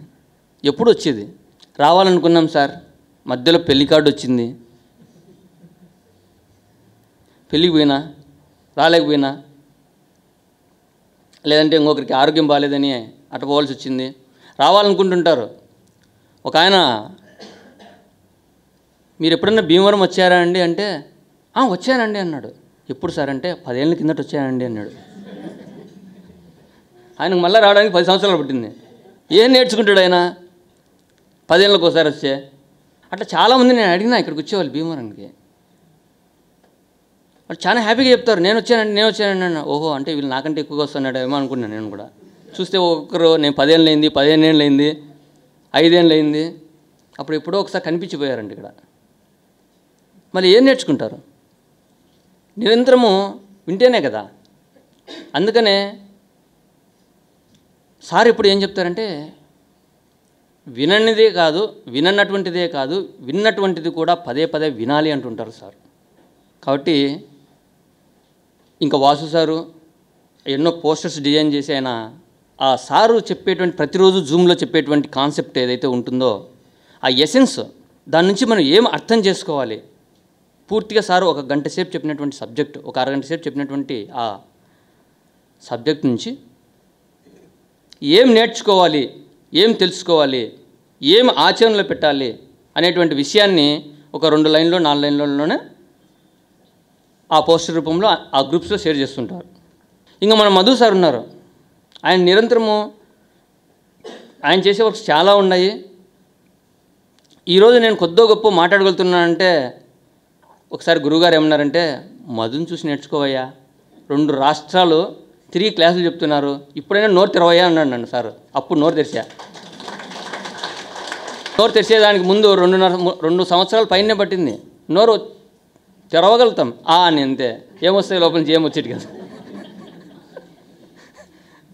అలా ఆయన చేసే పని ఆయన తిరిగింది ఆయన ఎంత ఫిజికల్గా వర్క్ చేశారంటే ఎంత ప్రచారం చేశారంటే నాకు ఆయన చూసి ఆశ్చర్యం వేస్తుంది ఇంకా పెళ్ళి కాలేదు. అప్పుడప్పుడు నాకు ఆశ్చర్యం వేస్తుంటుంది ఏదో నెలకు ఒకసారి ఎక్కడికైనా పోయి ఒక గంట క్లాస్ చెప్పేసి అబ్బా క్లాస్ చెప్పినా అనుకుంటాను నేను. ఆయన ఈరోజు హైద ఈరోజు భీమవరం ఉంటే రేపు హైదరాబాద్లో ఉంటాడు. ఆ తర్వాత గుంటూరు వెళ్ళిపోతాడు. ఏ మారుమూల గ్రామంలో పిలిచినా కూడా వాళ్ళు ఛార్జీలకు డబ్బులు కొంతమంది ఇస్తారు కొంతమంది ఇవ్వరు. ఆయనకి ఏమైనా ఉద్యోగం ఉందా? కనీసం ఛార్జీలు పెట్టుకునే స్థాయి కూడా లేదు. ఉద్యోగం లేదు. కొంతమంది పిలుస్తారు. ఎక్కడికి పిలుస్తారు? బస్సు రూట్ కూడా సరిగ్గా ఉండదు. ఒక నాలుగు వందల కిలోమీటర్ల దూరంలో ప్రయాణం చేయమని చెప్తా రమ్మంటారు క్లాస్కు. ఆడ గంట క్లాస్ ఉంటుంది. ఇక్కడి నుంచి వెళ్తాడు. కనీసం వాళ్ళ ఛార్జీలు కూడా డబ్బులు ఇవ్వరు మరి ఆయన పరిస్థితి? గురువుగారు ఒకసారి ఏమన్నారంటే నీ అవసరాలు ప్రకృతి చూసుకుంటుంది నాయన. నువ్వు ప్రకృతికి అనుగుణంగా వెళ్ళినప్పుడు ఈ ఆత్మసేవల్లో పాల్గొన్నప్పుడు. అందుకని సార్ ఇప్పుడు చెప్తుంటారు. నువ్వు చేసేది చేస్తే అది వస్తుంది. నీ అవసరాలు తీరితే. మరి హైదరాబాద్లో అన్ని సంవత్సరాల నుంచి ఆయన ఒక్క రూపాయి కూడా ఆదాయం లేకోకుండా ఎలా ఉండగలుగుతున్నాడు? అందుకని సార్ ఒక సందర్భంలో చెప్పారు. మనం చేసినప్పుడు ప్రకృతి ఎప్పుడు అనుకూలంగా ఉంటుంది. కాబట్టి ఆ ఆత్మసేవలు సార్ నాకు కూడా ఒకసారి ఎప్పుడు ఒక విషయం చెప్పారు. నాయన నువ్వు నీ జీవితంలో రెండు విషయాలు ఎప్పుడు గుర్తుంచుకో. ఒకటి సాధనను కొనసాగించాలా? ఎప్పుడో మానవద్దు. రెండోది ఎప్పుడు కూడా ఈ ఆత్మసేవల్లో ఎప్పుడు మిస్ కావద్దు మరవద్దు. ఈ రెండు మాత్రం నీ జీవితంలో ఎప్పుడు కంటిన్యూ చేస్తుంటే నీకు అన్నీ అనుకూలంగానే ఉంటాయి. ప్రకృతి చూసుకుంటుంది అని. ఇది అక్షర సత్యం. మరి ఆయన చేసే పనులు? ఆయన వాట్సాప్లో తెలిసినటువంటి అన్ని గ్రూప్స్లో పెడుతుంటాడు ఆయన వాట్సాప్ స్టేటస్ వాడతాడు ఆయన ఫేస్బుక్ వాడతాడు. అవి చేసేది కాక ఈ టెక్నాలజీ. ఇంకా రీసెంట్గా గురుగారు ఒక చిన్న వర్క్ చెప్పారు. గైడింగ్ ధ్యానం కాదు అనేటువంటి పుస్తకం గురుగారు రాస్ రాస్తున్నారు. దానికి సంబంధించి గతంలో సారు ఒక యాభై అరవై ప్రదేశాల్లో ఈ శ్వాస మీద ధ్యాస ధ్యానం గురించి చెప్పినప్పుడు అవన్నీ కూడా కలెక్ట్ చేయమని చెప్పారు మధు గారికి మధు సార్కి. ఆయన అవన్నీ ఛానల్లో వెతికి వెతికి వెతికి అవన్నీ ఇప్పుడిప్పుడు సార్ చెప్పినట్టు ఎక్కడిక్కడ చెప్పినట్టు సబ్జెక్ట్స్ అన్ని వెతికి తీసుకొచ్చి ఇప్పుడు అవన్నీ కూడా సార్కి పంపించడము ఇప్పుడు అదంతా కూడా గైడింగ్ ధ్యానం కాదనేటువంటి పుస్తకం తయారవుతుంది. గురువుగారు ఇప్పుడు దాన్ని ఎడిట్ చేస్తున్నారు. ఇది ఒక గొప్ప పుస్తకం. ఇది పిరమిడ్ సొసైటీలోనే కాదు మొత్తం అన్ని చోట్ల అన్ని ప్రదేశాల్లో విప్లవం సృష్టిస్తుంది ఇది. అన్ని టాపిక్స్ దాంతో ఉన్నాయి. ఇప్పుడు వీళ్ళందరికీ డౌట్స్ ఏవైతే ఉన్నాయో అందరికీ లోపల ఏవైతే ఉంటాయో సందేహాలు అవన్నీ పటాపంచలైపోతాయి చదివితే. మరి సింధూరా మేడము. ఆమె ఏం చేస్తుంటుందంటే మనందరం ఇప్పుడు భీమవరం వచ్చినామంటే ఫస్ట్ మనము ఆమెకు పేర్లు ఇవ్వాల్సిందే. మన పేర్లు ఎక్కితేనే ఆ లిస్టులోకి మనం తర్వాత భీమవరం రావడం జరుగుతుంది. ఈ భీమవరం రిజిస్ట్రేషన్స్ చేస్తూ ఉంటుంది తర్వాత సార్ ప్రోగ్రామ్స్ బయట ఈ మేడం వారి డెసిషను అన్ని పుణ్యక్షేత్రాల్లో కూడా ప్రోగ్రామ్స్ జరగాలనేసి. ఇప్పుడు ఆ దానికి కూడా రిజిస్ట్రేషన్స్ కొన్ని చోట్ల ఆమె చేస్తూ ఉంటుంది. తర్వాత ముఖ్యంగా నేను ఒక సంవత్సరం పాటు ఈ జూము ఛానల్ చూసుకున్న తర్వాత మధ్యలో నాకు బ్రేక్ అయింది. ఉద్యోగపరంగా కొన్ని ఇబ్బందులు వచ్చాయి. బ్రేక్ అయినప్పుడు ఇమ్మీడియట్గా ఆమె అందుకునింది దాన్ని. ఆమె కూడా ఎడ్యుకేటెడే కాబట్టి. మరి ప్రకృతి నిజంగా నేను ఒకప్పుడు ఒకరు వర్క్ చేయకపోతే మరి ఈ పని నెక్స్ట్ ఎవరు చేస్తారనుకునేవాడిని. ఆటోమేటిక్గా రెడీ చేసి పెట్టింటుంది నేచర్ ప్రకృతి ఇంకొకరిని. సిద్ధంగా ఉంటారు. వీడు తప్పుకుని అంటే ఆటోమేటిక్గా ఒక ఆ మరుక్షణమే వేరే వానికి వెళ్ళిపోతుంది ఆ పని. వాళ్ళ కోసం ఎప్పుడు ఆగదు. నేనే చేస్తున్నాను నా వల్ల ఎంత జరుగుతుంది. నేను చేయకపోతే ఇంకా వీళ్ళ ఈ పని ఇంతే ఆగిపోతుంది. ఇది ఏడ ఉండదు. నీ పని స్లో అయినా కూడా ఇంకొక వ్యక్తి ఎంటర్ అవుతాడు నువ్వు చేసే పని నెమ్మదించినా కూడా ప్రకృతి ఇంకొకరిని పంపిస్తుంది స్పీడప్ చేసేదానికి. ఆగడం కాదు నెమ్మదించినా కూడా. మరి ఈ రిజిస్ట్రేషన్స్ వర్క్సే కాకుండా ఈ ఛానల్ వరకు తర్వాత ఈ యూట్యూబ్ ఈ జూమ్లో కూడా నేను దూరం అయిపోయినాను. వెల్లుల్లి ఆహారం తినేసా ట్రైనింగ్కి పోయినా. శాలరీ అయిపోయింది. జీతం లేదు. తర్వాత ఆమె టేకప్ చేసింది. జూము యూట్యూబ్ మరి గురువుగారి ప్రోత్సాహంతో ఆమె కూడా ఎడ్యుకేటెడ్ కనుక ఆమె రన్ చేస్తుంది. ఇప్పుడు వరకు కూడా ఆమె ఇప్పుడు ప్రజెంట్ కూడా ఆమెనే రన్ చేస్తుంది. ఆ యూట్యూబ్ ఛానల్ అంతా వీడియోస్ అన్నీ ఆమె ఎడిటింగ్ చేసుకుంటూ ఆమె అప్లోడ్ చేసుకుంటూ ఉంటుంది. తర్వాత ఇంకా సారు కొన్ని పుస్తకాలను మనం ఎంతోమంది మాస్టర్ చేసే వర్క్ ఇంకో గ్రేట్ వర్క్ ఇంకోటి ఉంది. సార్ చెప్పేటువంటి ఈ వాయిస్ నుంచి ఈ వీడియోస్ ఆడియోస్ ఏవైతే ఉన్నాయో వీటిని అన్నిటిని కూడా టెక్స్ట్ రూపంలో కన్వర్ట్ చేసి అక్షరాల రూపంలో మార్చి వ్రాత రూపంలోకి మార్చి అవన్నీ కూడా మళ్ళీ కాన్సెప్ట్ల రూపంలో తయారవుతున్నాయి. ఆ వర్క్ చేసే వాళ్ళు ఎంతోమంది ఉన్నారు. మన రీసెంట్గా గురుగారు ఒక చిన్న ప్రోగ్రామ్ జూమ్ ద్వారా ఆర్గనైజ్ చేశారు. సత్యాన్ని విస్తరింప చేయాలి అంటే అందరికీ సత్యం వెళ్ళాలి ఈ జ్ఞానం వెళ్ళాలి సత్య జ్ఞానం వెళ్ళాలి. సార్ నిరంతరం ఇరవై నాలుగు గంటలు ఇదే ఆలోచన తప్పితే రెండో ఆలోచన ఏమీ ఉండదు సార్కి. సార్ అదే అంటుంటారు కదా ఎప్పుడన్నా పిల్లలు కనిపిస్తే అరే ఓహో పిల్లలు ఉన్నారా అనేటువంటి ఆలోచన కూడా అంటే సార్ అంత పూర్తిగా నిమగ్నం అయిపోయారు దాంట్లో. మరి ఈ జ్ఞానం అందరికీ వెళ్ళాలి అంటే ఎవరికి ఇంట్రెస్ట్ ఉన్నవాళ్ళు వాళ్ళు రండి అంటే చాలామంది వచ్చారు జూమ్లకి సార్ మేము చేస్తాం సార్ ఈ వర్క్. మేము వాట్సాప్లో అందరికీ యూట్యూబ్లో ఒక్కొక్క షార్ట్ ప్లేలిస్టులు ఉన్నాయి యూట్యూబ్ ఛానల్లో. ఒక ధ్యానం మీద ఒక్క ధ్యానం మీదనే దాదాపు నలభై పైన మనకు వీడియోలు ఉన్నాయి. ఒక్క ధ్యానం అనే కాన్సెప్ట్ మీదనే సార్ దాదాపు ఒక నలభై గంటలు చెప్పినారు. అందులో ధ్యానంలో గంటలు గంటలు కూర్చోగలగాలంటే ధ్యానంలో ఆలోచనలు తగ్గాలంటే ఇట్లా కాన్సెప్ట్స్ ఎన్నో ఉన్నాయి. మరి మీరు ఎవరికైనా ధ్యానం నాకు కుదరలేదు? ఆలోచనలు వస్తున్నాయి. ఏం చేయాలా? అని అడుగుతారు మిమ్మల్ని. అప్పుడు ఒక ప్లేలిస్ట్ ఒక లింక్ ఉంటుంది అంతే నొక్కడము పేరు కొట్టి పంపడమే. కానీ వినాలంటే మనకు నలభై గంటలు పడుతుంది. సింపుల్. మనం పంపించేదానికి ఒక నిమిషం. వినేదానికి అర్థం కావడానికి ఆచరించేదానికి అంటే తెలుసుకునేదానికి సులభతరం చేసింది టెక్నాలజీ. ఇంకోటి గుర్తుపెట్టుకోండి ధ్యాన ప్రచారం చేయాలి అంటే వాడు వంద కిలోమీటర్ల దూరంలో ఎప్పుడో పిలిచాడు అనుకోండి మనకి ఎప్పుడో మనం పోయి అక్కడ ధ్యానం చెప్పేదానికంటే స్టవ్ మీద రైస్ పెడతావు. ఉడికేదానికి ఇరవై నిమిషాలు టైం పడుతుంది. ఆ టైంలో కూడా నువ్వు ధ్యాన ప్రచారం చేయగలుగుతావు. అది టెక్నాలజీ మహిమ. ఇంకా చూడండి ఇవన్నీ ఉండగా ఇంకా ఆమె రీసెంట్గా గురుగారు ఒక యజ్ఞం తలపెట్టారు. ఏంటంటే తెలుగే కాదు. దాదాపు ప్రపంచవ్యాప్తంగా కొన్ని కోట్ల మంది హిందీ వారు ఉన్నారు హిందీ వారు ఎక్కడున్నా సరే వారందరికీ జ్ఞానం అందాలా అన్నారు. మరి హిందీ వారందరికీ జ్ఞానం అందాలి అంటే మొదట ఏం చేయాలి? ముందు హిందీలోకి ట్రాన్స్లేట్ కావాలి. ఒకటి. హిందీలోకి ట్రాన్స్లేట్ కావాలి ఆ కాపీస్ రావాలి ఎడిటింగ్ కావాలి ట్రాన్స్లేటర్స్ కావాలి వేల కొలది కాపీస్ ప్రింట్ కావాలి. మరి వీటికి మనకు ధనం అవసరం. సార్ ఒక మాట అన్నారు. నేను ఇరవై లక్షలు కానీ ముప్పై లక్షలు కానీ నేను ఒక్కనే పెట్టుకోగలను. అని మన మాకు కూడా ఒకటి చెప్పారు సార్. ఏమయ్యా ఆ వెబ్సైట్ డిజైనింగ్ అంతా మీరే పెడతామంటున్నారు. అంతా మీకే కావాలనా? మిగతా వాళ్ళకి ఏమి ఇవ్వరా? ఛాన్సు? అంటే సార్ చెప్పినారు. సిడ్డి సాయిబాబా వారు ఆ సాయిబాబా వారు అందరి దగ్గరికి వెళ్ళి దక్షిణ ఆ భిక్ష తీసుకునేవారు. శిష్యులు అడిగేవారంట. ఏమో అక్కడికి పోయి తీసుకోకపోతే ఏం మేము పెడతాం కదా అనేసి. నాయన ఒక యోగీశ్వరుడు అక్కడికి వెళ్ళి ఆ కొంచెం తీసుకోవడం వల్ల వాళ్ళ నుంచి వాళ్ళ ఎన్నో కర్మలు పోతాయ్యా అనంట చాలామంది ఏమనుకుంటారంటే ఈ విషయం వాళ్ళకు గుర్తుండదు. ఈ దానం ఇచ్చేదాని మీద దృష్టి ఉంటుంది కానీ కనిపించని దాని మీద అవగాహన ఉండదు. కనిపించే దాని మీద అవగాహన ఉంటుంది కానీ కనిపించని దాని మీద అవగాహన ఉండదు. ఒక గురువు ఒక యజ్ఞం తలపెట్టినాడంటే లోక కళ్యాణ కార్యక్రమం తలపెట్టినాడంటే దాని అంతరార్థము చాలా ఉంటుంది.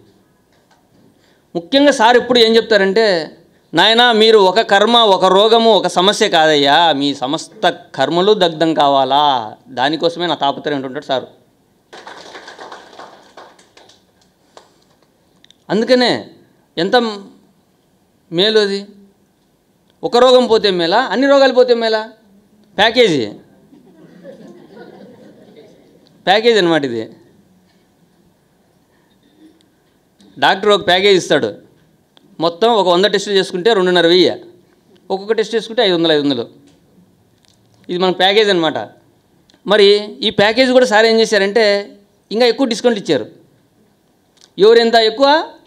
యజ్ఞాల్లో పాల్గొంటుంటే త్వరగా కంప్లీట్ చేసుకుంటారు. మరి దీనికోసం ఏం జరిగిందంటే చాలామంది మన మాస్టర్స్ ఈ పుస్తకాల ప్రింటింగ్కు వీటికి అంతటికీ ధనాన్ని ఇచ్చినప్పుడు హిందీ పుస్తకాలకి. అవన్నీ కూడా లాస్ట్ గత నెలలో కూడా ఒక మూడు పుస్తకాలు ప్రింటింగ్ అయిపోయి సార్ ఏమన్నారంటే కేవలం డబ్బు తీసుకోవడమే కాదు వీరి ద్వారానే ఇంకా ఈ జ్ఞానాన్ని ప్రచారం చేపించాలి. ఈ పుస్తకాలందరికీ హిందీ వాళ్ళకి అందాలి అందించేటట్టు చేయాలి అంటే వీళ్ళు ఇచ్చిన డబ్బుకు సరిపడా ఆ పుస్తకాలను ఇవ్వాలి అని చెప్పేసి లాస్ట్ మంత్ నుంచి సారు ఎవరు ఎంత డబ్బు అయితే ఈ హిందీ పుస్తకాలకు ప్రింట్ ప్రింటింగ్కి కానీ ఆ ఎయిటింగ్ కానీ ఇక దీనికి ఇచ్చారో వాళ్ళకి మళ్ళీ అవన్నీ తిరిగి ఆ పుస్తకాలన్నీ వాళ్ళకి ఇవ్వడము వారి ద్వారా హిందీ వచ్చినటువంటి వారికి వాళ్ళు అక్కడి నుంచి పంపించుకుంటారు. ఆ విధంగా సారు ఎన్నో పుస్తకాలు గత నెల నుంచి ఇస్తున్నారు డొనేషన్స్ కూడా మన వాళ్ళు ఫా జూమ్లో పాల్గొనే వాళ్ళు యుఎస్ఏ నుంచి కూడా ఉన్నారు. ఎట్లు ఇస్తున్నారంటే ఆశ్చర్యం వేస్తుంది. నేను యాభై వేలు పంపిస్తున్నాను సార్ అంటారు వాళ్ళు ఫోన్ కొట్టేసి. ఎంత మనకు బాగా అర్థం చేసుకునేటువంటి వారు ఎంత మనకు గురుగారు పత్రి సార్ కూడా మరి ఇన్ని పిరమిడ్స్ మెగా పిరమిడ్స్ కోట్ల కొలది ప్రాజెక్ట్స్ ఎక్కడి నుంచి వచ్చాయి? ఆ యజ్ఞాల్లో పాల్గొన్నప్పుడే కదా. మరి ఇది డైరెక్ట్ జ్ఞానం కదా. మరి ఈ జ్ఞానము డైరెక్ట్గా అందిస్తున్నాం. ఈ జ్ఞానాన్ని. కాబట్టి దీనికోసము మనము ఎంతైతే చేయగలరో అందుకనే సార్ ఎప్పుడు ఏం చెప్తారంటే నీ దగ్గర ధనం ఉంటే ధనాన్ని ఖర్చు పెట్టు. శక్తి ఉంటే శక్తిని ఖర్చు పెట్టు. నీ సమయాన్ని ఖర్చు పెట్టు. వాక్ను ఖర్చుపెట్టు సారీయే చెప్తుంటారు. మరి ఇప్పుడు కూడా ఇంకా సాటి ఎన్నో పుస్తకాలు ట్రాన్స్లేట్ కావాలా హిందీలోకి? ఇంకా దాదాపు మనకు ఓ ముప్పై నలభై లక్షల అవసరం ఉంది. దీనికోసం సార్ ఏం చేశారంటే ప్రతి ఒక్కరిది నేమ్ రాసుకుంటూ అమౌంట్ ఎంత అనేది నోట్ చేసుకుంటూ దానికి సెపరేట్ ఒక అకౌంట్ క్రియేట్ చేసేసి సార్ అక్కడ ఆల్రెడీ సారు నిరంతరము దాని మీదనే ఉంటుంది కాబట్టి దానికి సెపరేట్ అకౌంట్ కూడా పెట్టడం జరిగింది. అది కూడా సింధూరా మేడం మెయింటైన్ చేస్తూ ఉంటారు. అది కూడా సింధూరా మేడం ఒక నెంబర్కి ఉంటుంది. ఈ భీమవరం ఈ రిజిస్ట్రేషన్స్ మిగతా చోట జరిగే యజ్ఞాలకు ఒక నెంబర్ ఉంటుంది. ఈ బుక్స్కి సంబంధించినటువంటి దానికి సంబంధించి ఒక నెంబర్ ఉంటుంది. ఫోన్ నెంబరు కానీ చాలామంది భీమవరం రిజిస్ట్రేషన్స్లో వేయాల్సిన అమౌంట్ అంతా తీసుకొచ్చి బుక్స్లో అమౌంట్లో దీంట్లో వేయాల్సినంత దాంట్లో వేయడం వల్ల ఆమెకు రోజు దీంతో వేసిన వాళ్ళు దీంట్లో మళ్ళీ దాంట్లోకి వేసుకోవడం దాంట్లో మళ్ళీ దీంట్లోకి వేసుకోవడం ఇలానే చేసుకుంటూ ఉంటుంది ఆమె. ఆమె తిప్పలు ఆమె పడుతుంటుంది. నేను తప్పించుకున్నా దాని నుంచి. సార్ మొదట నాకే చెప్పారు. ఇది నేను తప్పించుకొని ఆమెకి ఇచ్చేసాను అనమాట అట్లా ఆమె ఆ రెండు అవే కాకుండా ఇంకా మొదట్లో పోస్టర్స్ అన్నీ కూడా తయారు చేసేది ఆమె. ఇప్పుడు మనకు సార్ ప్రోగ్రామ్స్ ఎక్కడ జరిగినా కూడా ఆ ప్రోగ్రామ్ యొక్క షెడ్యూల్స్ ఆ ప్లేస్లో ఆ డీటెయిల్స్ అవన్నీ కూడా మనకు వాట్సాప్ గ్రూప్స్లో పెడుతూ ఉంటుంది. ఆమె నిరంతరం పెడుతూ ఉంటుంది. మరి ఈ విధంగా చేసేవాళ్ళు వీడియో ఎడిటింగ్ చేసేదానికి మన జూమ్లో శివ వాళ్ళ ఫ్యామిలీ వాళ్ళు ముందుకు వచ్చారు ఎడిటింగ్ చేసేదానికి అట్లా చాలామంది మాస్టర్స్ ముప్పై మంది పైన వాళ్ళంతా వచ్చేసారు. ఎడిటింగ్ చేస్తామని. అనిత మేడం అలా చాలామంది ముందుకు వస్తున్నారు ఎందుకంటే ఇప్పుడు వచ్చే వాళ్ళంతా టెక్నాలజీలో స్పీడు. సార్ చెప్పారు కదా సార్ వాళ్ళ మనవని గురించి ఎంత స్పీడ్గా ఉంటారో. వాళ్ళు ముందే చదువుకున్నప్పటి నుంచి ఆ టెక్నాలజీ మీదనే కాన్సన్ట్రేట్ చేస్తారు కాబట్టి స్పీడ్గా నేర్చేసుకుంటారు. మరి దీంట్లో సేవ చేయడానికి ఒకప్పుడు సేవ చేయాలంటే చాలా సమయము తీసుకునేది ఇప్పుడు సేవ చేయడానికి చాలా తక్కువ సమయంలోనే ఎక్కువ సేవ చేసే మనకు భాగ్యం కలిగిస్తున్నారు గురువుగారు. దీన్ని మనము బాగా సద్వినియోగం చేసుకోవాలి. మరి సార్ ఇప్పుడు కూడా ఒకరిని పొగుడుతున్నారు అంటే వాళ్ళు ఏదో గొప్పని కాదు. మేమేం చేయడం లేదు అక్కడ. నేను చేయకపోతే ఇంకొకరు చేస్తారు ఆ వర్క్. ఇప్పుడు నేను ఒకటి సార్ చెప్పారు జూమ్ రన్ చేయమని. నేను చేయలేదనుకోండి ఇంకా రెండు వందల మంది ఉన్నారు రోజు వస్తారు వాళ్ళు. ఈ రెండు వందల మందిలో ఎవరో ఒకరు వెళ్ళిపోద్ది వాళ్ళు వేస్తారు రోజు పొద్దున్న మూడున్నరకంలో కాబట్టి ఎప్పుడు కూడా నిరంతరము వచ్చిన అవకాశాలని మనం వదిలిపెట్టకూడదు. ఇంకా అవకాశాలను అందిపుచ్చుకొని మనం చేయాలి. మరి ఇన్ని మనకు ప్రచారం చేసేదానికి నేర్చుకునేదానికి ఈ వీడియో ఎడిటింగ్ సాఫ్ట్వేర్లు కానీ ఇంకా తమ్మునేల్స్ వరకు ఇంకోటి. ఇది ఏం లేదు చాలా సింపుల్ ఇదే. ఫోన్లోనే చేసుకోవచ్చు. ఒక చిన్న ఫోటో చిన్న టైటిల్స్ తెలుగులో అవి టైప్ చేయడము బాగా అట్రాక్టివ్గా ఇప్పుడు మన పిరమిడ్ ఛానల్ ఎంత బాగా అట్రాక్టివ్గా వస్తాయి మన పిరమిడ్ మెడిటేషన్ ఛానల్లో క్యాప్షన్స్ పెద్ద పెద్ద అక్షరాలతో ఒక రెండు పదాలు వచ్చేటట్లు వెనకల బ్యాక్గ్రౌండ్లో ఒక చిన్న బొమ్మ పెట్టేసి టైటిల్ చూడంగానే అరే దీంట్లో లోపల ఏదో ఉంది. ఈ ఖచ్చితంగా మనం వినాలి చూడాలి అనేటువంటి తపన మొదలవుతుంది. ఏది? ఆ టైటిల్ చూడంగానే దాన్ని తమ్మునేలు అంటారు. మరి ఇది మన పిఎంసీలు ఎంత అట్రాక్టివ్గా పెట్టుకుంటున్నారు? అలానే పెడుతూ ఉన్నాము. సార్ ఛానల్ కూడా. ఇది ఇంకా చేసేవాళ్ళు కూడా ఇంకా చేయొచ్చు. ఇంకా చిన్న వీడియోస్. ఇప్పుడు మన పిరమిడ్ మెడిటేషన్ ఛానల్లో చిన్న వీడియోస్ షార్ట్ వీడియోస్ పెడుతున్నారు. షార్ట్ వన్ అవర్ ఉంటాయి ఒక గంట ఉంటాయి వీడియోలు. వీటిని ఐదు నిమిషాలకో పది నిమిషాలకో అర్థవంతంగా ప్రశ్నకు సమాధానమో లేదంటే ఆ జ్ఞానం కరెక్ట్గా అది ఎన్ని నిమిషాలు నిడివి ఉంటుందో. అది ఐదు నిమిషాలు కావచ్చు పది నిమిషాలు కావచ్చు పదిహేను నిమిషాలు కావచ్చు. చిన్న వీడియోస్ రూపంలో సార్ చెప్పినటువంటి ఆ వీడియోస్ అన్నీ కూడా కుది ఆ వీడియోస్ అన్నీ కూడా షార్ట్ చేసి సమయం. సార్ చెప్పే మాటలను దగ్గర దగ్గరగా రానికోకుండా యాజ్ ఇట్ ఈజ్గా సార్ చెప్పే మాటలు అంతే నిడివితో ఎంతవరకు అయితే ఆ టాపిక్ సంబంధించి అంతవరకు మనము స్టాప్ చేసి అర్థం వచ్చే విధంగా దాన్ని నీట్గా మనం కుదించి ఆ షార్ట్ వీడియోల రూపంలో తీసుకురావడం ఒక వర్క్. ఇవన్నీ చేయాలి అంటే ఫోన్ల ద్వారా కొన్ని చేసుకోవచ్చు ఆండ్రాయిడ్ ఫోన్స్ ద్వారా ఈ ల్యాప్టాప్లు ఉన్న ల్యాప్టాప్ల ద్వారా కొన్ని చేసుకోవచ్చు. ల్యాప్టాప్లో చేసే పనులు కొన్ని ఫోన్లలో చేయలేము. కొన్ని పనులు ఫోన్లలోనే స్పీడ్గా అవుతాయి. ఇవన్నీ కూడా చేసేదానికి మనం పెట్టినప్పుడు చాలామంది ముందుకు వచ్చారు ఇప్పుడు ఆ వర్క్ కూడా ఇంకా నడుస్తూ ఉంటుంది ఇంకా. కాబట్టి చేయాలనుకున్నప్పుడు సార్ ఒక పుస్తకం ఉంటుంది టెక్స్ట్. ఒక చిన్న కాన్సెప్ట్ మనం పంపించాలి ఎవరికైనా చదువుకునే దానికి. టెక్స్ట్ రూపంలో ఉంటుంది ఒక ఇరవై లైన్లు ముప్పై లైన్లు. ఏం జస్ట్ మనం ఏం చేస్తాము? మెసేజ్ ఎవరికైనా పంపాలంటే ఫార్వర్డ్ చేసేస్తాం. అంతే టెక్స్ట్ రూపంలో కూడా పంపించచ్చు టెక్స్ట్ అంటే అదే మనము రాతపూర్వకంగా ఉంటుంది అక్షరాల రూపంలో. లేదు చదవలేరు వాళ్ళు. కేవలం వాళ్ళు కొంతమంది ఉంటారు. నాకు చదువు రాదు నాయన. నాకు ఏదైనా వినపడేది ఉంటే పెట్టు వింటాను అంటారు. అప్పుడు మనము వీడియోలు పెట్టచ్చు వాళ్ళకి.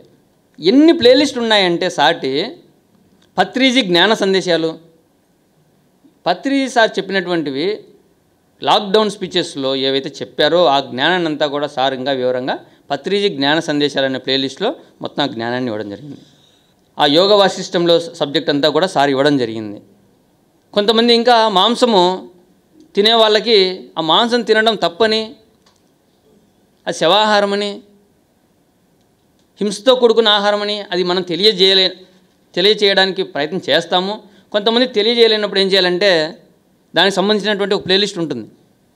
దేవునికి దయ లేదా? దేవుని దయ కలగాలంటే. మరి దాంట్లో కొన్ని ఎపిసోడ్స్ ఉన్నాయి. అవి విన్నారనుకోండి తప్పకుండా వాళ్ళు శాఖాహారులుగా మారుతారు. హింసను వదిలేస్తారు. ఇంకా కొంతమంది పూజలు చేస్తూ ఉంటారు. వాళ్ళకి ఎంత చెప్పినా కూడా భీమవరం వస్తారు. పక్కనే పక్కనే వెంకటేశ్వరుని గుడి. బోళ్ళం అనుకుంటారు. రౌండ్ గుడి చుట్టూరి పొలుతూ ఉంటారు. మరి సార్ ఎందుకు పెట్టారు అక్కడ? అట్లా ఎందుకు ఇచ్చారు గుడి అంటే కనీసం ఆడికి వస్తే ఈ లోపల ఏం జరుగుతుంది? మనం ఏం చేసామంటే రిజిస్ట్రేషన్లో బయట కూర్చున్నాం.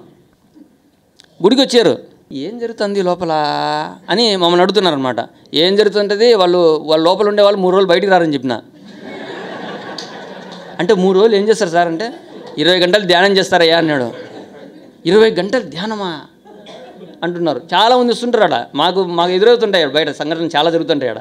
నువ్వు అంటే నేను ఒకసారి చూడొచ్చా? ఆ బయట నుంచి చూస్తానంటాడు. సరే అని ఆ బయటకు వచ్చి ఆ గ్లాసులోంచి ఇలా చూసి అందరు ధ్యానం చేస్తా అంటే సైలెంట్గా వచ్చి మళ్ళీ మేమైనా రావచ్చు అంటే రావచ్చు అండి ఎప్పుడైనా రావచ్చు. అంతా ఫ్రీనే అంటే అవునా సార్? సరే అయితే మేము నెక్స్ట్ ఇంకొకసారి ట్రై వస్తాము అని కొంతమంది తెలుసుకొని రావాల్సిన వాళ్ళు ఉంటే వాళ్ళకు కూడా అవకాశాన్ని అవకాశం కోల్పోకూడదని సారు.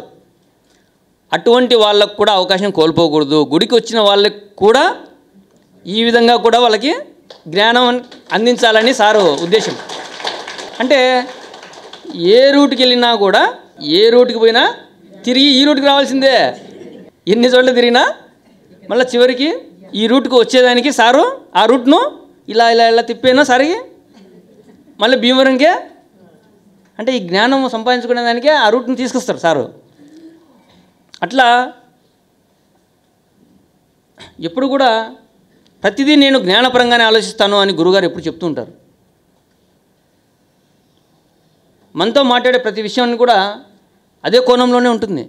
మరి చూడండి కర్మలు పోగొట్టుకునేదానికి ధ్యానము ఈ జ్ఞానము ఈ ధ్యాన ప్రచారము ఇన్ని అవకాశాలు మనకు మరి పత్రి సార్ ద్వారా రారా సార్ మన గురువుగారు అందుకోవడము మరి సార్ ద్వారా నిరంతరము మనం అందుకోవడము అది ఎన్నో జన్మల పుణ్యం. గతంలో ఏ సంబంధం లేదంటే అసలు రాము ఇక్కడికి.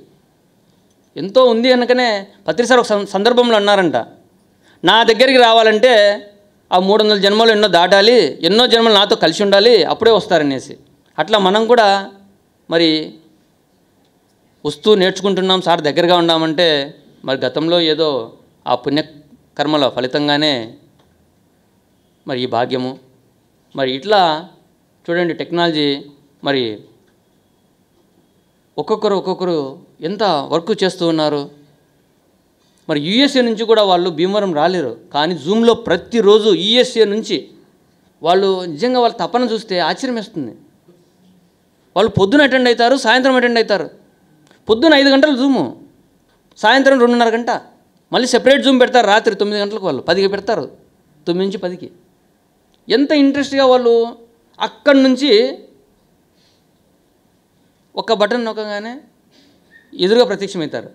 వాళ్ళు కూడా ధ్యానంలో కూర్చుంటున్నారు. వాళ్ళు ఏమంటారంటే సార్ యుఎస్ నుంచి మేము రావడానికి మాకు మేము కన్నా ఇండియాలో ఉంటే ఎంత బాగుండేదో సార్ అంటారు. కానీ ఇండియాలో కాదు ఏపీలో ఉండేటువంటి వాళ్ళే భీమవరం రా రావడానికి ఇబ్బంది పడుతున్నారు.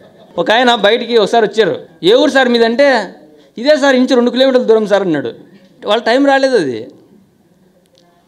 మన అదృష్టం అది. మనం పట్టుకున్నాం అందరం. ఇది ఆశామాషిగా అంత సులభం కాదు. సార్ ఒకటే అంటారు మూడు వందల జన్మలు దాటితే ధ్యానం లేకొస్తే మూడు వందల యాభై జన్మలు దాటినప్పుడే ఈ ఆత్మజ్ఞానం తెలుసుకునేదానికి తపన ఉంటుంది అని. అందరూ ఊరికినే వస్తారా? ఎన్ని కోట్ల మంది జనాభా ఉన్నారు? మరి అందరు వస్తే ఇంకేముంది? ప్రపంచం అంతా జ్ఞానమయం అయిపోద్ది. అయితే సార్ ఇప్పుడు నిజంగా పుస్తకాలు సార్ పుస్తకాలు ఎన్ని మొదట్లో నేను ఏం చేసేవానంటే సార్ పుస్తకాలు కొన్ని పంచేవాని ఇప్పుడు టెక్నాలజీ పరంగా పుస్తకాలను కూడా సింపుల్గా ఇప్పుడు సార్ బుక్స్ ఉన్నాయి పత్రి సార్ బుక్స్ ఈ బుక్స్ అని కొట్టంగానే పత్రి సార్ బుక్స్ అన్నీ వచ్చేస్తాయి. ఇప్పుడు ఆనాపానసతి శ్వాస మీద ధ్యాస ధ్యానము జస్ట్ కొట్టడము పంపించడం బుక్. ఖర్చుతో ఉందా? ఏమైనా ఖర్చు ఉందా శ్రమ ఉందా? ఎంత సులభంగా నిజంగా ఈ భూమి మీద ఈ సమయంలో మనం జన్మ తీసుకోవడము నిజంగా అది నా అదృష్టం. సంచిత కర్మలు అనేటువంటి ఒక ప్యాకేజీ పూర్తిగా క్లియర్ అయిపోద్ది. త్వరగా క్లియర్ చేసుకునేదానికి ఒక గొప్ప అవకాశం మనకి. మరి ఈ విధంగా మరి గురువుగారు ఎన్నో నిరంతరము సార్ అయితే ఫోన్లో సార్ దగ్గర నోట్స్ రూపంలో ఒకరోజు నేను చూశాను. నేను నోట్స్ అనేటువంటిది ఏదో ఒక యాప్ ఉంది దాన్ని కూడా సరిగ్గా వాడట్లే. అటువంటి సార్ దగ్గర నలభై పైన ఉన్నాయి నోట్స్ సంబంధించినటువంటి యాప్స్. నోట్స్ అంటే ఏంటి అంటే దాంట్లో నోట్స్ రాస్తుంటారు. ఇప్పుడు మన పుస్తకాలు రాస్తున్నాం కదా అలా. చూసి నేను ఆశ్చర్యపోయినా. ఎంత అసలు ఎట్లా రాయగలిగారు అనేసి. సారు నేర్చుకునేదానికి ఎంత ఇంట్రెస్ట్ చూపిస్తారంటే నేర్పించే వాళ్ళు ఉంటే ఎవరి దగ్గరైనా సార్ నేర్చుకుంటారు. అదే మనము పక్కవాడు ఏదైనా చెప్తాననుకో "ఆ, వీనికేం తెలుసులే. వీని దగ్గర ఏముంది తెలుసుకునేదానికి అనుకుంటాం. నాకే తెలుసు అనుకుంటాం. సారు ప్రతి ఒక్కరిలో వాళ్ళ గొప్పతనాన్ని చూస్తాడు. వాళ్ళ దగ్గర ఇంకా ఏమైనా నేర్చుకునేది ఉందా?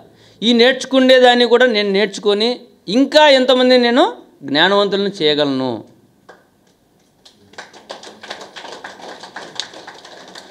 ఈ వయసులో కూడా సార్ నిరంతరం నేర్చుకుంటూనే ఉన్నారు. నాకు ఆశ్చర్యం ఏంటంటే అసలు సార్లో కనీసం వన్ పర్సెంట్ అన్నా మనము నేర్చుకునే తపన ఉందా అని నాకు అప్పుడప్పుడు డౌట్ వస్తుంటుంది. అంటే ఎంత ఇదొక్కటే కాదు కష్టపడము అసలు నిరంతరము ఎట్లా తిరుగుతున్నారు సార్ అసలు? ఒక నెల మనము నెల కాదు. ఒక్కసారి నెలకు నాయన ఒక మూడు రోజులు భీమవరం రాండయ్యా అంటే సార్ భీమవరం దూరం కదా సార్? అంటారు. మరి నిరంతరము రాష్ట్రాల తరబడి సార్ ఎలా తిరగలుగుతున్నారు? ఆ ధ్యాన శక్తి వల్లే కదా. నేను మొదట్లో అనుకునేవాడిని భీమవరం దూరం కదా అని. నెమ్మది నెమ్మదిగా భీమవరం నా దగ్గర అయింది. ఎలా దగ్గరైంది ఒకప్పుడు ఆ నుంచి తిరుపతికి రావాలంటే ఐదారు గంటలు పడుతుంది. ఆ నుంచి మళ్ళీ ఒక నైట్ జర్నీ చేయాలని అని దూరం అనుకునేవాడిని. ఇప్పుడు టైం ఎట్లా గడిచిపోతుందో తెలియదు. ఆడ బస్సు ఎక్కుతాము ట్రైన్ ఎక్కేస్తాము వచ్చేస్తాము మళ్ళీ ఇంచి వెళ్ళిపోతాము. ఏం టైం తెలియట్లేదు ఇప్పుడు. కాదు అప్పుడు మనసు ఎక్కువ సార్ మొన్న చెప్పారు కదా అంతర్శత్రువు ప్రబలంగా ఉన్నది అప్పుడు. ఇప్పుడు అంతర్శత్రువును దాని మీద జీహాద్ ప్రకటించాను నేను. నువ్వా నేనా? తేల్చుకోవాలా. ఎంతసేపు నువ్వు యుద్ధం చేస్తావు చూస్తాం. ఎంతసేపు అయినా సరే యుద్ధం చేయాల్సిందే. అంతే. మరి ఇన్ని యజ్ఞాలు పత్రి సరే ఏ విధంగా అయితే అవకాశాలు కల్పించారు. పత్రి సార్ ఇప్పుడు కూడా అందరికీ అవకాశాలు కల్పిస్తారు. వీళ్ళను వీళ్ళు మన దగ్గరికి వచ్చారు నా దగ్గరికి వచ్చారు నా వారు వీళ్ళకు నేను ఏదో ఒక విధంగా వీళ్ళని బయటపడేయాలా? ఈ ప్రణాళిక ఈ ఆత్మ ప్రణాళిక ఏదేదో ఉందో దేనికోసం అయితే వీళ్ళు వచ్చారో వీళ్ళ లక్ష్యం ఏదైతే ఉందో అది ఎవరికి తెలుస్తుంది? ఓ బ్రహ్మజ్ఞానికి గురువుకే తెలుస్తుంది. నీ సంచితంలో ఎన్ని ఆ మూటిలో ఎన్ని ఉన్నాయో ఎవరికి తెలుస్తుంది? గురువు తెలుస్తుంది మూటలు ఎన్ని ఉండేది మనకు తెలుస్తుందా? తెలీదు. దాని ప్రకారంగా గురువుగారు ఎన్నో చెప్తూ ఉంటారు. తెలియని వాళ్ళు ఏమనుకుంటారంటే వాళ్ళ కర్మ అది. సార్ పట్టించుకోరు. సారు ఒకసారి చెప్తారు పదే పదే గురువులు పిల్లి తన పిల్లను ఎలా పట్టుకుంటుంది? పట్టుకొని ఆడికి ఈడికి ఆడికి ఈడికి ఆడికి ఈడికి మార్చుకుంటూ ఉంటుంది ఇది ఒక గురువు ఎప్పుడు అలా ఉండడు. కోతి పిల్ల ఏం చేస్తుంది? కోతిని గట్టిగా పట్టుకుంటుంది.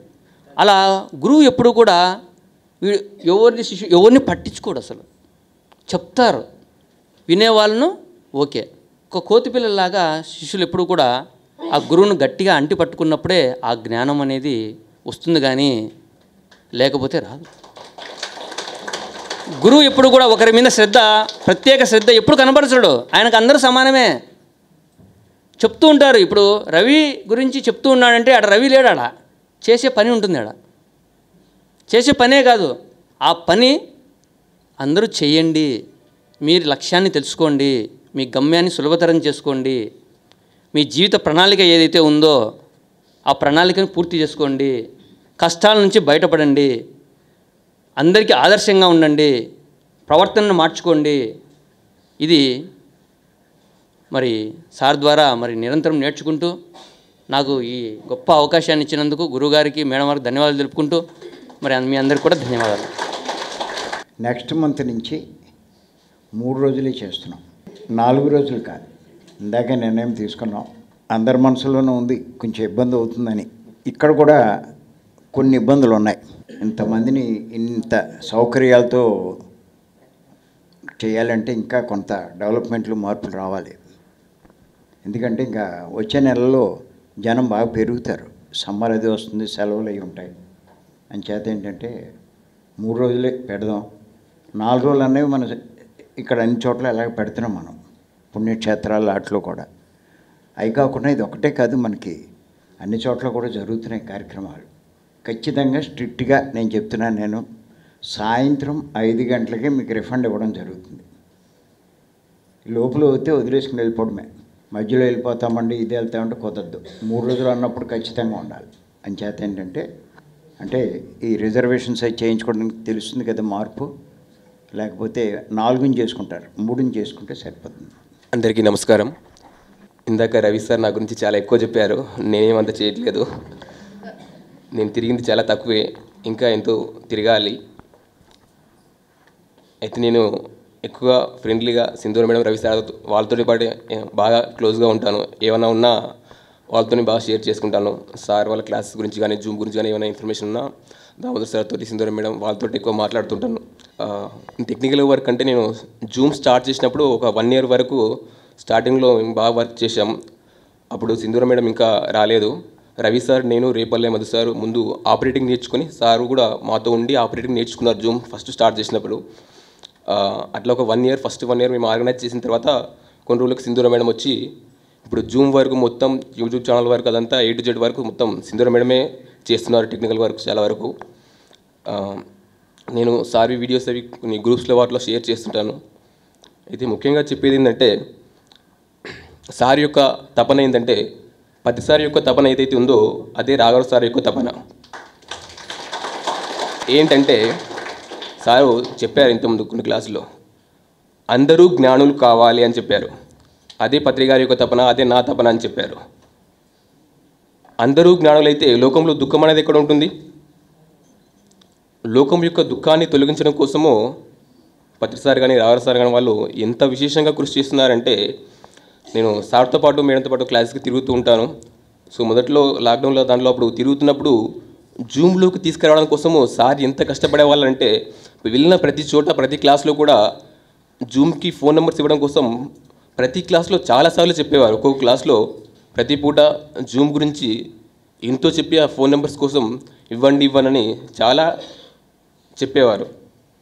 సో నాకు కొన్నిసార్లు అనిపిస్తుంది ఇంతగా రిక్వెస్ట్ చేసి ఇంతగా తీసుకోవడం అవసరమా అని- అని అనిపించేది కానీ తర్వాత అర్థమైంది ఇంత గొప్పదా అని దాని ద్వారా ఎంత అద్భుతమైన జ్ఞానాన్ని ఇస్తున్నారా అని చెప్పేసి.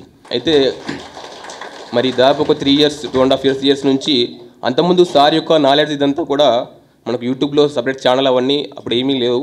వేరే వేరే దాంట్లో కొన్ని తక్కువ అక్కడక్కడ కొన్ని వీడియోస్ ఉన్నాయి కానీ దాని ఒక సపరేట్ సార్ పేరు మీద ఒక ఛానల్ దాన్ని సార్ యొక్క జ్ఞానాన్ని దాదాపు ఒక త్రీ ఇయర్స్ నుంచి ఎక్కడ క్లాస్ చెప్పినా అవన్నీ మ్యాక్సిమం ఇప్పుడు అన్నీ యూట్యూబ్లో మనకు స్టోర్ చేసి మనకి రవి సార్ సుందర్ మేడం వాళ్ళు ఆ ఛానల్ బాగా వండర్ఫుల్గా మెయింటైన్ చేస్తున్నారు. నేను లాక్డౌన్ స్టార్టింగ్లో మనకు ప్రతిసారి పిఎంసీలో ఆల్టర్నేట్ డేస్లో వీడియోస్ వచ్చాయి. క్లాస్ చెప్పేవారు సార్. సో నేను అప్పుడు మన రాగర సార్వి ప్రతిసారి ఇద్దరు అవి రెండు షేర్ వీడియోస్ షేర్ షేర్ చేసేవాడిని చాలా గ్రూప్స్లో. అయితే కింద పెట్టేవాడిని పిఎంసీ ఆ వీడియోస్ కింద. Please like watch like share and subscribe అని పెట్టి world's number one spiritual channel అని పెట్టేవాడిని పిఎంసీకి కింద. అయితే ఇప్పుడు మన ఛానల్ తడవర్తి వీరవర్ సార్ మన యూట్యూబ్ ఛానల్ రవి సార్ చెప్పారు కదా. ఆ ఛానల్లో ఇప్పుడు అంతా హండ్రెడ్ పర్సెంట్ సత్యం గురించి జ్ఞానం గురించి తప్ప వేరే వేస్ట్ వాడు ఒక్కటి కూడా ఉండదు. హండ్రెడ్ పర్సెంట్ జ్ఞానం ఉన్న ఛానల్ వాళ్ళలో నెంబర్ వన్ ఛానల్ అని కూడా చెప్పవచ్చు జ్ఞానంలో ప్రతిదీ కూడా అంత అద్భుతంగా తయారు చేశారు. నిజంగా ఛానల్ అంత బాగా మెయింటైన్ చేస్తున్నారు. దాన్ని సబ్స్క్రైబర్స్ పెరగడం కోసం కూడా రకరకాలుగా దాదాపు నాలుగు వేల ఐదు వందల మంది పైన ఉన్నారు. ఐదు వేల మంది దాకా ఉన్నారు సబ్స్క్రైబర్స్. అయితే సార్ చెప్పినట్టుగా అది అందరూ జ్ఞానులు కావాలంటే అందరికీ ఇది ఇంకా షేర్ కావాలి. ఇన్ఫర్మేషన్ అనేది అందరికీ వెళ్ళాలని చెప్పేసి నిన్న మన క్లాస్లో చెప్పారు కదా పంచితే పెంచబడుతుంది సత్యాన్ని పంచితే సత్యం అనేది పెంచబడుతుందని చెప్పేసి. అది పిఎంసీలో మనకు యూట్యూబ్ ఛానల్లో దాంట్లో వెళ్తుంది. అయితే మెయిన్ టీవీలోకి ఇంకా అది వెళ్ళట్లేదు. మెయిన్ టీవీలో ఉన్న వాళ్ళు వాళ్ళు యూట్యూబ్లో అందరూ చూడలేదు. ఇంట్లో టీవీలో చూసేవాళ్ళు కొంతమందికి అది యూట్యూబ్లో చూడడం అయితే తెలియదు. ఓన్లీ మెయిన్ టీవీలో వచ్చి చూస్తున్నారు. సో దాంట్లో కూడా వెళ్తే ఇంకా ఎక్కువ మందికి ఇన్ఫర్మేషన్ తెలుస్తుంది. సార్ ఏం చేస్తున్నారంటే జూమ్లో చెప్పే క్లాస్లో భీమవరం క్లాసెస్ గురించి కానీ జూమ్ గురించి కానీ ఎంతో ప్రతి క్లాస్లో ఇంచుమించు చెప్తున్నారు. భీమవరం క్లాస్ గురించి కానీ జూమ్ గురించి కానీ. ఆ విషయము మెయిన్ టీవీలోకి వెళ్తే ఆటోమేటిక్గా మనకి ఇంకా స్ట్రెంత్ పెరుగుతారు. భీమవరం రావడం వచ్చేవాళ్ళు కావచ్చు జూమ్లోకి వచ్చేవాళ్ళు కానీ ఆ మెయిన్ టీవీలోకి వెళ్తే అని చెప్పేసి దానికోసం చాలా వర్క్ చేస్తున్నారు. ఆల్రెడీ నిన్న ఇంటికి వెళ్ళి సారు ఇందాక చెప్పినట్లు చూసి వచ్చాం దామోదర్ సార్ చెప్పినట్టు ఇంకోటి వెబ్సైట్ గురించి కూడా. ఆ వెబ్సైట్ ద్వారా కూడా ఇంకా ఎక్కువ మందికి ఇన్ఫర్మేషన్ మనం ఆ, సార్ యొక్క జ్ఞానాన్ని అందించవచ్చు మనం. సార్ మనకు మొన్న షెడ్యూల్లో చెప్పారు ఒక మాట. పత్రి గారు ముప్పై ఏళ్ళలో తిరిగి చేసింది పిఎంసి ఒక మూడేళ్ళలో చేసిందని చెప్పేసి. అంటే టెక్నాలజీ యొక్క పవర్ ఎలా ఉంటుందనేది ఆ ఎగ్జాంపుల్ చెప్పారు. సో అట్లా ఇప్పుడు ఒక వెబ్సైట్ అనేది వస్తే ఆ వెబ్సైట్ను వీళ్ళంత ఎక్కువ మందికి మనం రీచ్ అవ్వడానికి దాని ద్వారా వెళ్తే అందులో బుక్స్ ద్వారా రావచ్చు వీడియోస్ చూసి రావచ్చు. ఏ విధంగానైనా కానీ సార్ యొక్క వీడియో ఒకటి విన్నట్ల రకరకాలుగా మనకు భీమవరం రావడానికి కానీ ఇంకా ఆటోమేటిక్గా చాలా ఇంప్రూవ్మెంట్ అని ఉంటుంది. ఎక్కువ మందికి ఇది షేర్ అవుతుంది నాలెడ్జ్ అనేది సార్ యొక్క నాలెడ్జ్. సో అది ఎవరు ఏ విధంగా చేయగలిగితే ఇప్పటి వరకు సార్వి వీడియోస్ ఫేస్బుక్లో వాట్సాప్లో ఇక్కడ దాంట్లో షేర్ చేస్తున్నాం. రీసెంట్గా మొన్న జరిగిన మీటింగ్లో కొంతమంది చెప్పారు ఇన్స్టాగ్రామ్ ఇది మేము యూజ్ చేస్తున్నాం అని చెప్పేసి దాని ద్వారా కూడా షేర్ చేయడానికి ప్రయత్నం చేస్తున్నారు. సింధూర మేడం కూడా దాంట్లో కూడా చేస్తున్నారు. ఇంకా ఏ విధంగా వీలైతే ఆ విధంగా దాన్ని టెక్నికల్గా చేయడానికి సార్ అన్ని రకాలుగా ప్రయత్నం చేస్తున్నారు. ఎవరు ఏ విధంగా చేయగలిగితే వాళ్ళు ముందుకొచ్చి మీరు టెక్నికల్గా చేయొచ్చు. అంటే ఒకవేళ మనం చేయగలిగిన దాంట్లో స్మార్ట్ ఫోన్ చాలామంది దగ్గర దగ్గర ఉంటుంది. మన యొక్క వాట్సాప్లో మనమున్న గ్రూపుల్లో షేర్ చేయడం కానీ స్టేటస్లో పెట్టుకొని షేర్ చేయడం కానీ ఫేస్బుక్లో మనకు అకౌంట్ ఉంటే దాంట్లో షేర్ చేయడం కానీ ఇది షేర్ చేస్తూ పోతుంటే మనకు తెలిసిన వాళ్ళకు విడిగా అయినా పంపి పంపించవచ్చు ఆ విధంగా పంపించడం సార్ యొక్క వీడియోస్ అవి పంపిస్తూ ఉంటే అది ఎక్కువ మంది చూడడానికి అవకాశం ఉంటుంది. ఒకరో వీడియో కొన్ని కొంతమంది చూడొచ్చు కొంతమంది చూడకపోయినా ఏదో ఒక వీడియో అయినా చూడవచ్చు. సో అట్లా ఏంటంటే సార్ యొక్క జ్ఞానాన్ని ఎందుకంటే ఎంత కష్టపడుతున్నారంటే సార్ ఈ జ్ఞానం ఇవ్వడం కోసం మరి చెప్తున్నారు daily morning four o'clock లేచి జూమ్ అనేది ఆర్గనైజ్ చేస్తున్నారు. ఇంకా చెప్పాలంటే నాకన్నా కొంచెం బద్దకం వస్తుంటుంది అప్పుడప్పుడు. నేను కొంచెం లేట్గా జాయిన్ అవుతుంటాను. నాలుగు బావ నాలుగున్నరకు అట్లా జాయిన్ అవుతుంటాను. కానీ sir four o'clock join అయ్యి ఎవరెవరు జాయిన్ అయ్యారు ఎంతమంది జాయిన్ అయ్యారు అన్నీ చూస్తూ ఉంటారు సారు. సో కాబట్టి అంటే అంత కష్టపడుతున్నారు మనం జ్ఞానులుగా తయారు చేయడం కోసం. కాబట్టి వీళ్ళంత వరకు మనం ఎవరు ఏది చేయగలిగితే అది టెక్నికల్గా సార్ యొక్క జ్ఞానాన్ని అందరికీ చేరే విధంగా ఎక్కువ ముందుకు స్ప్రెడ్ అయ్యే విధంగా ప్రయత్నం చేద్దాం. Thank you sir thank you very much thank you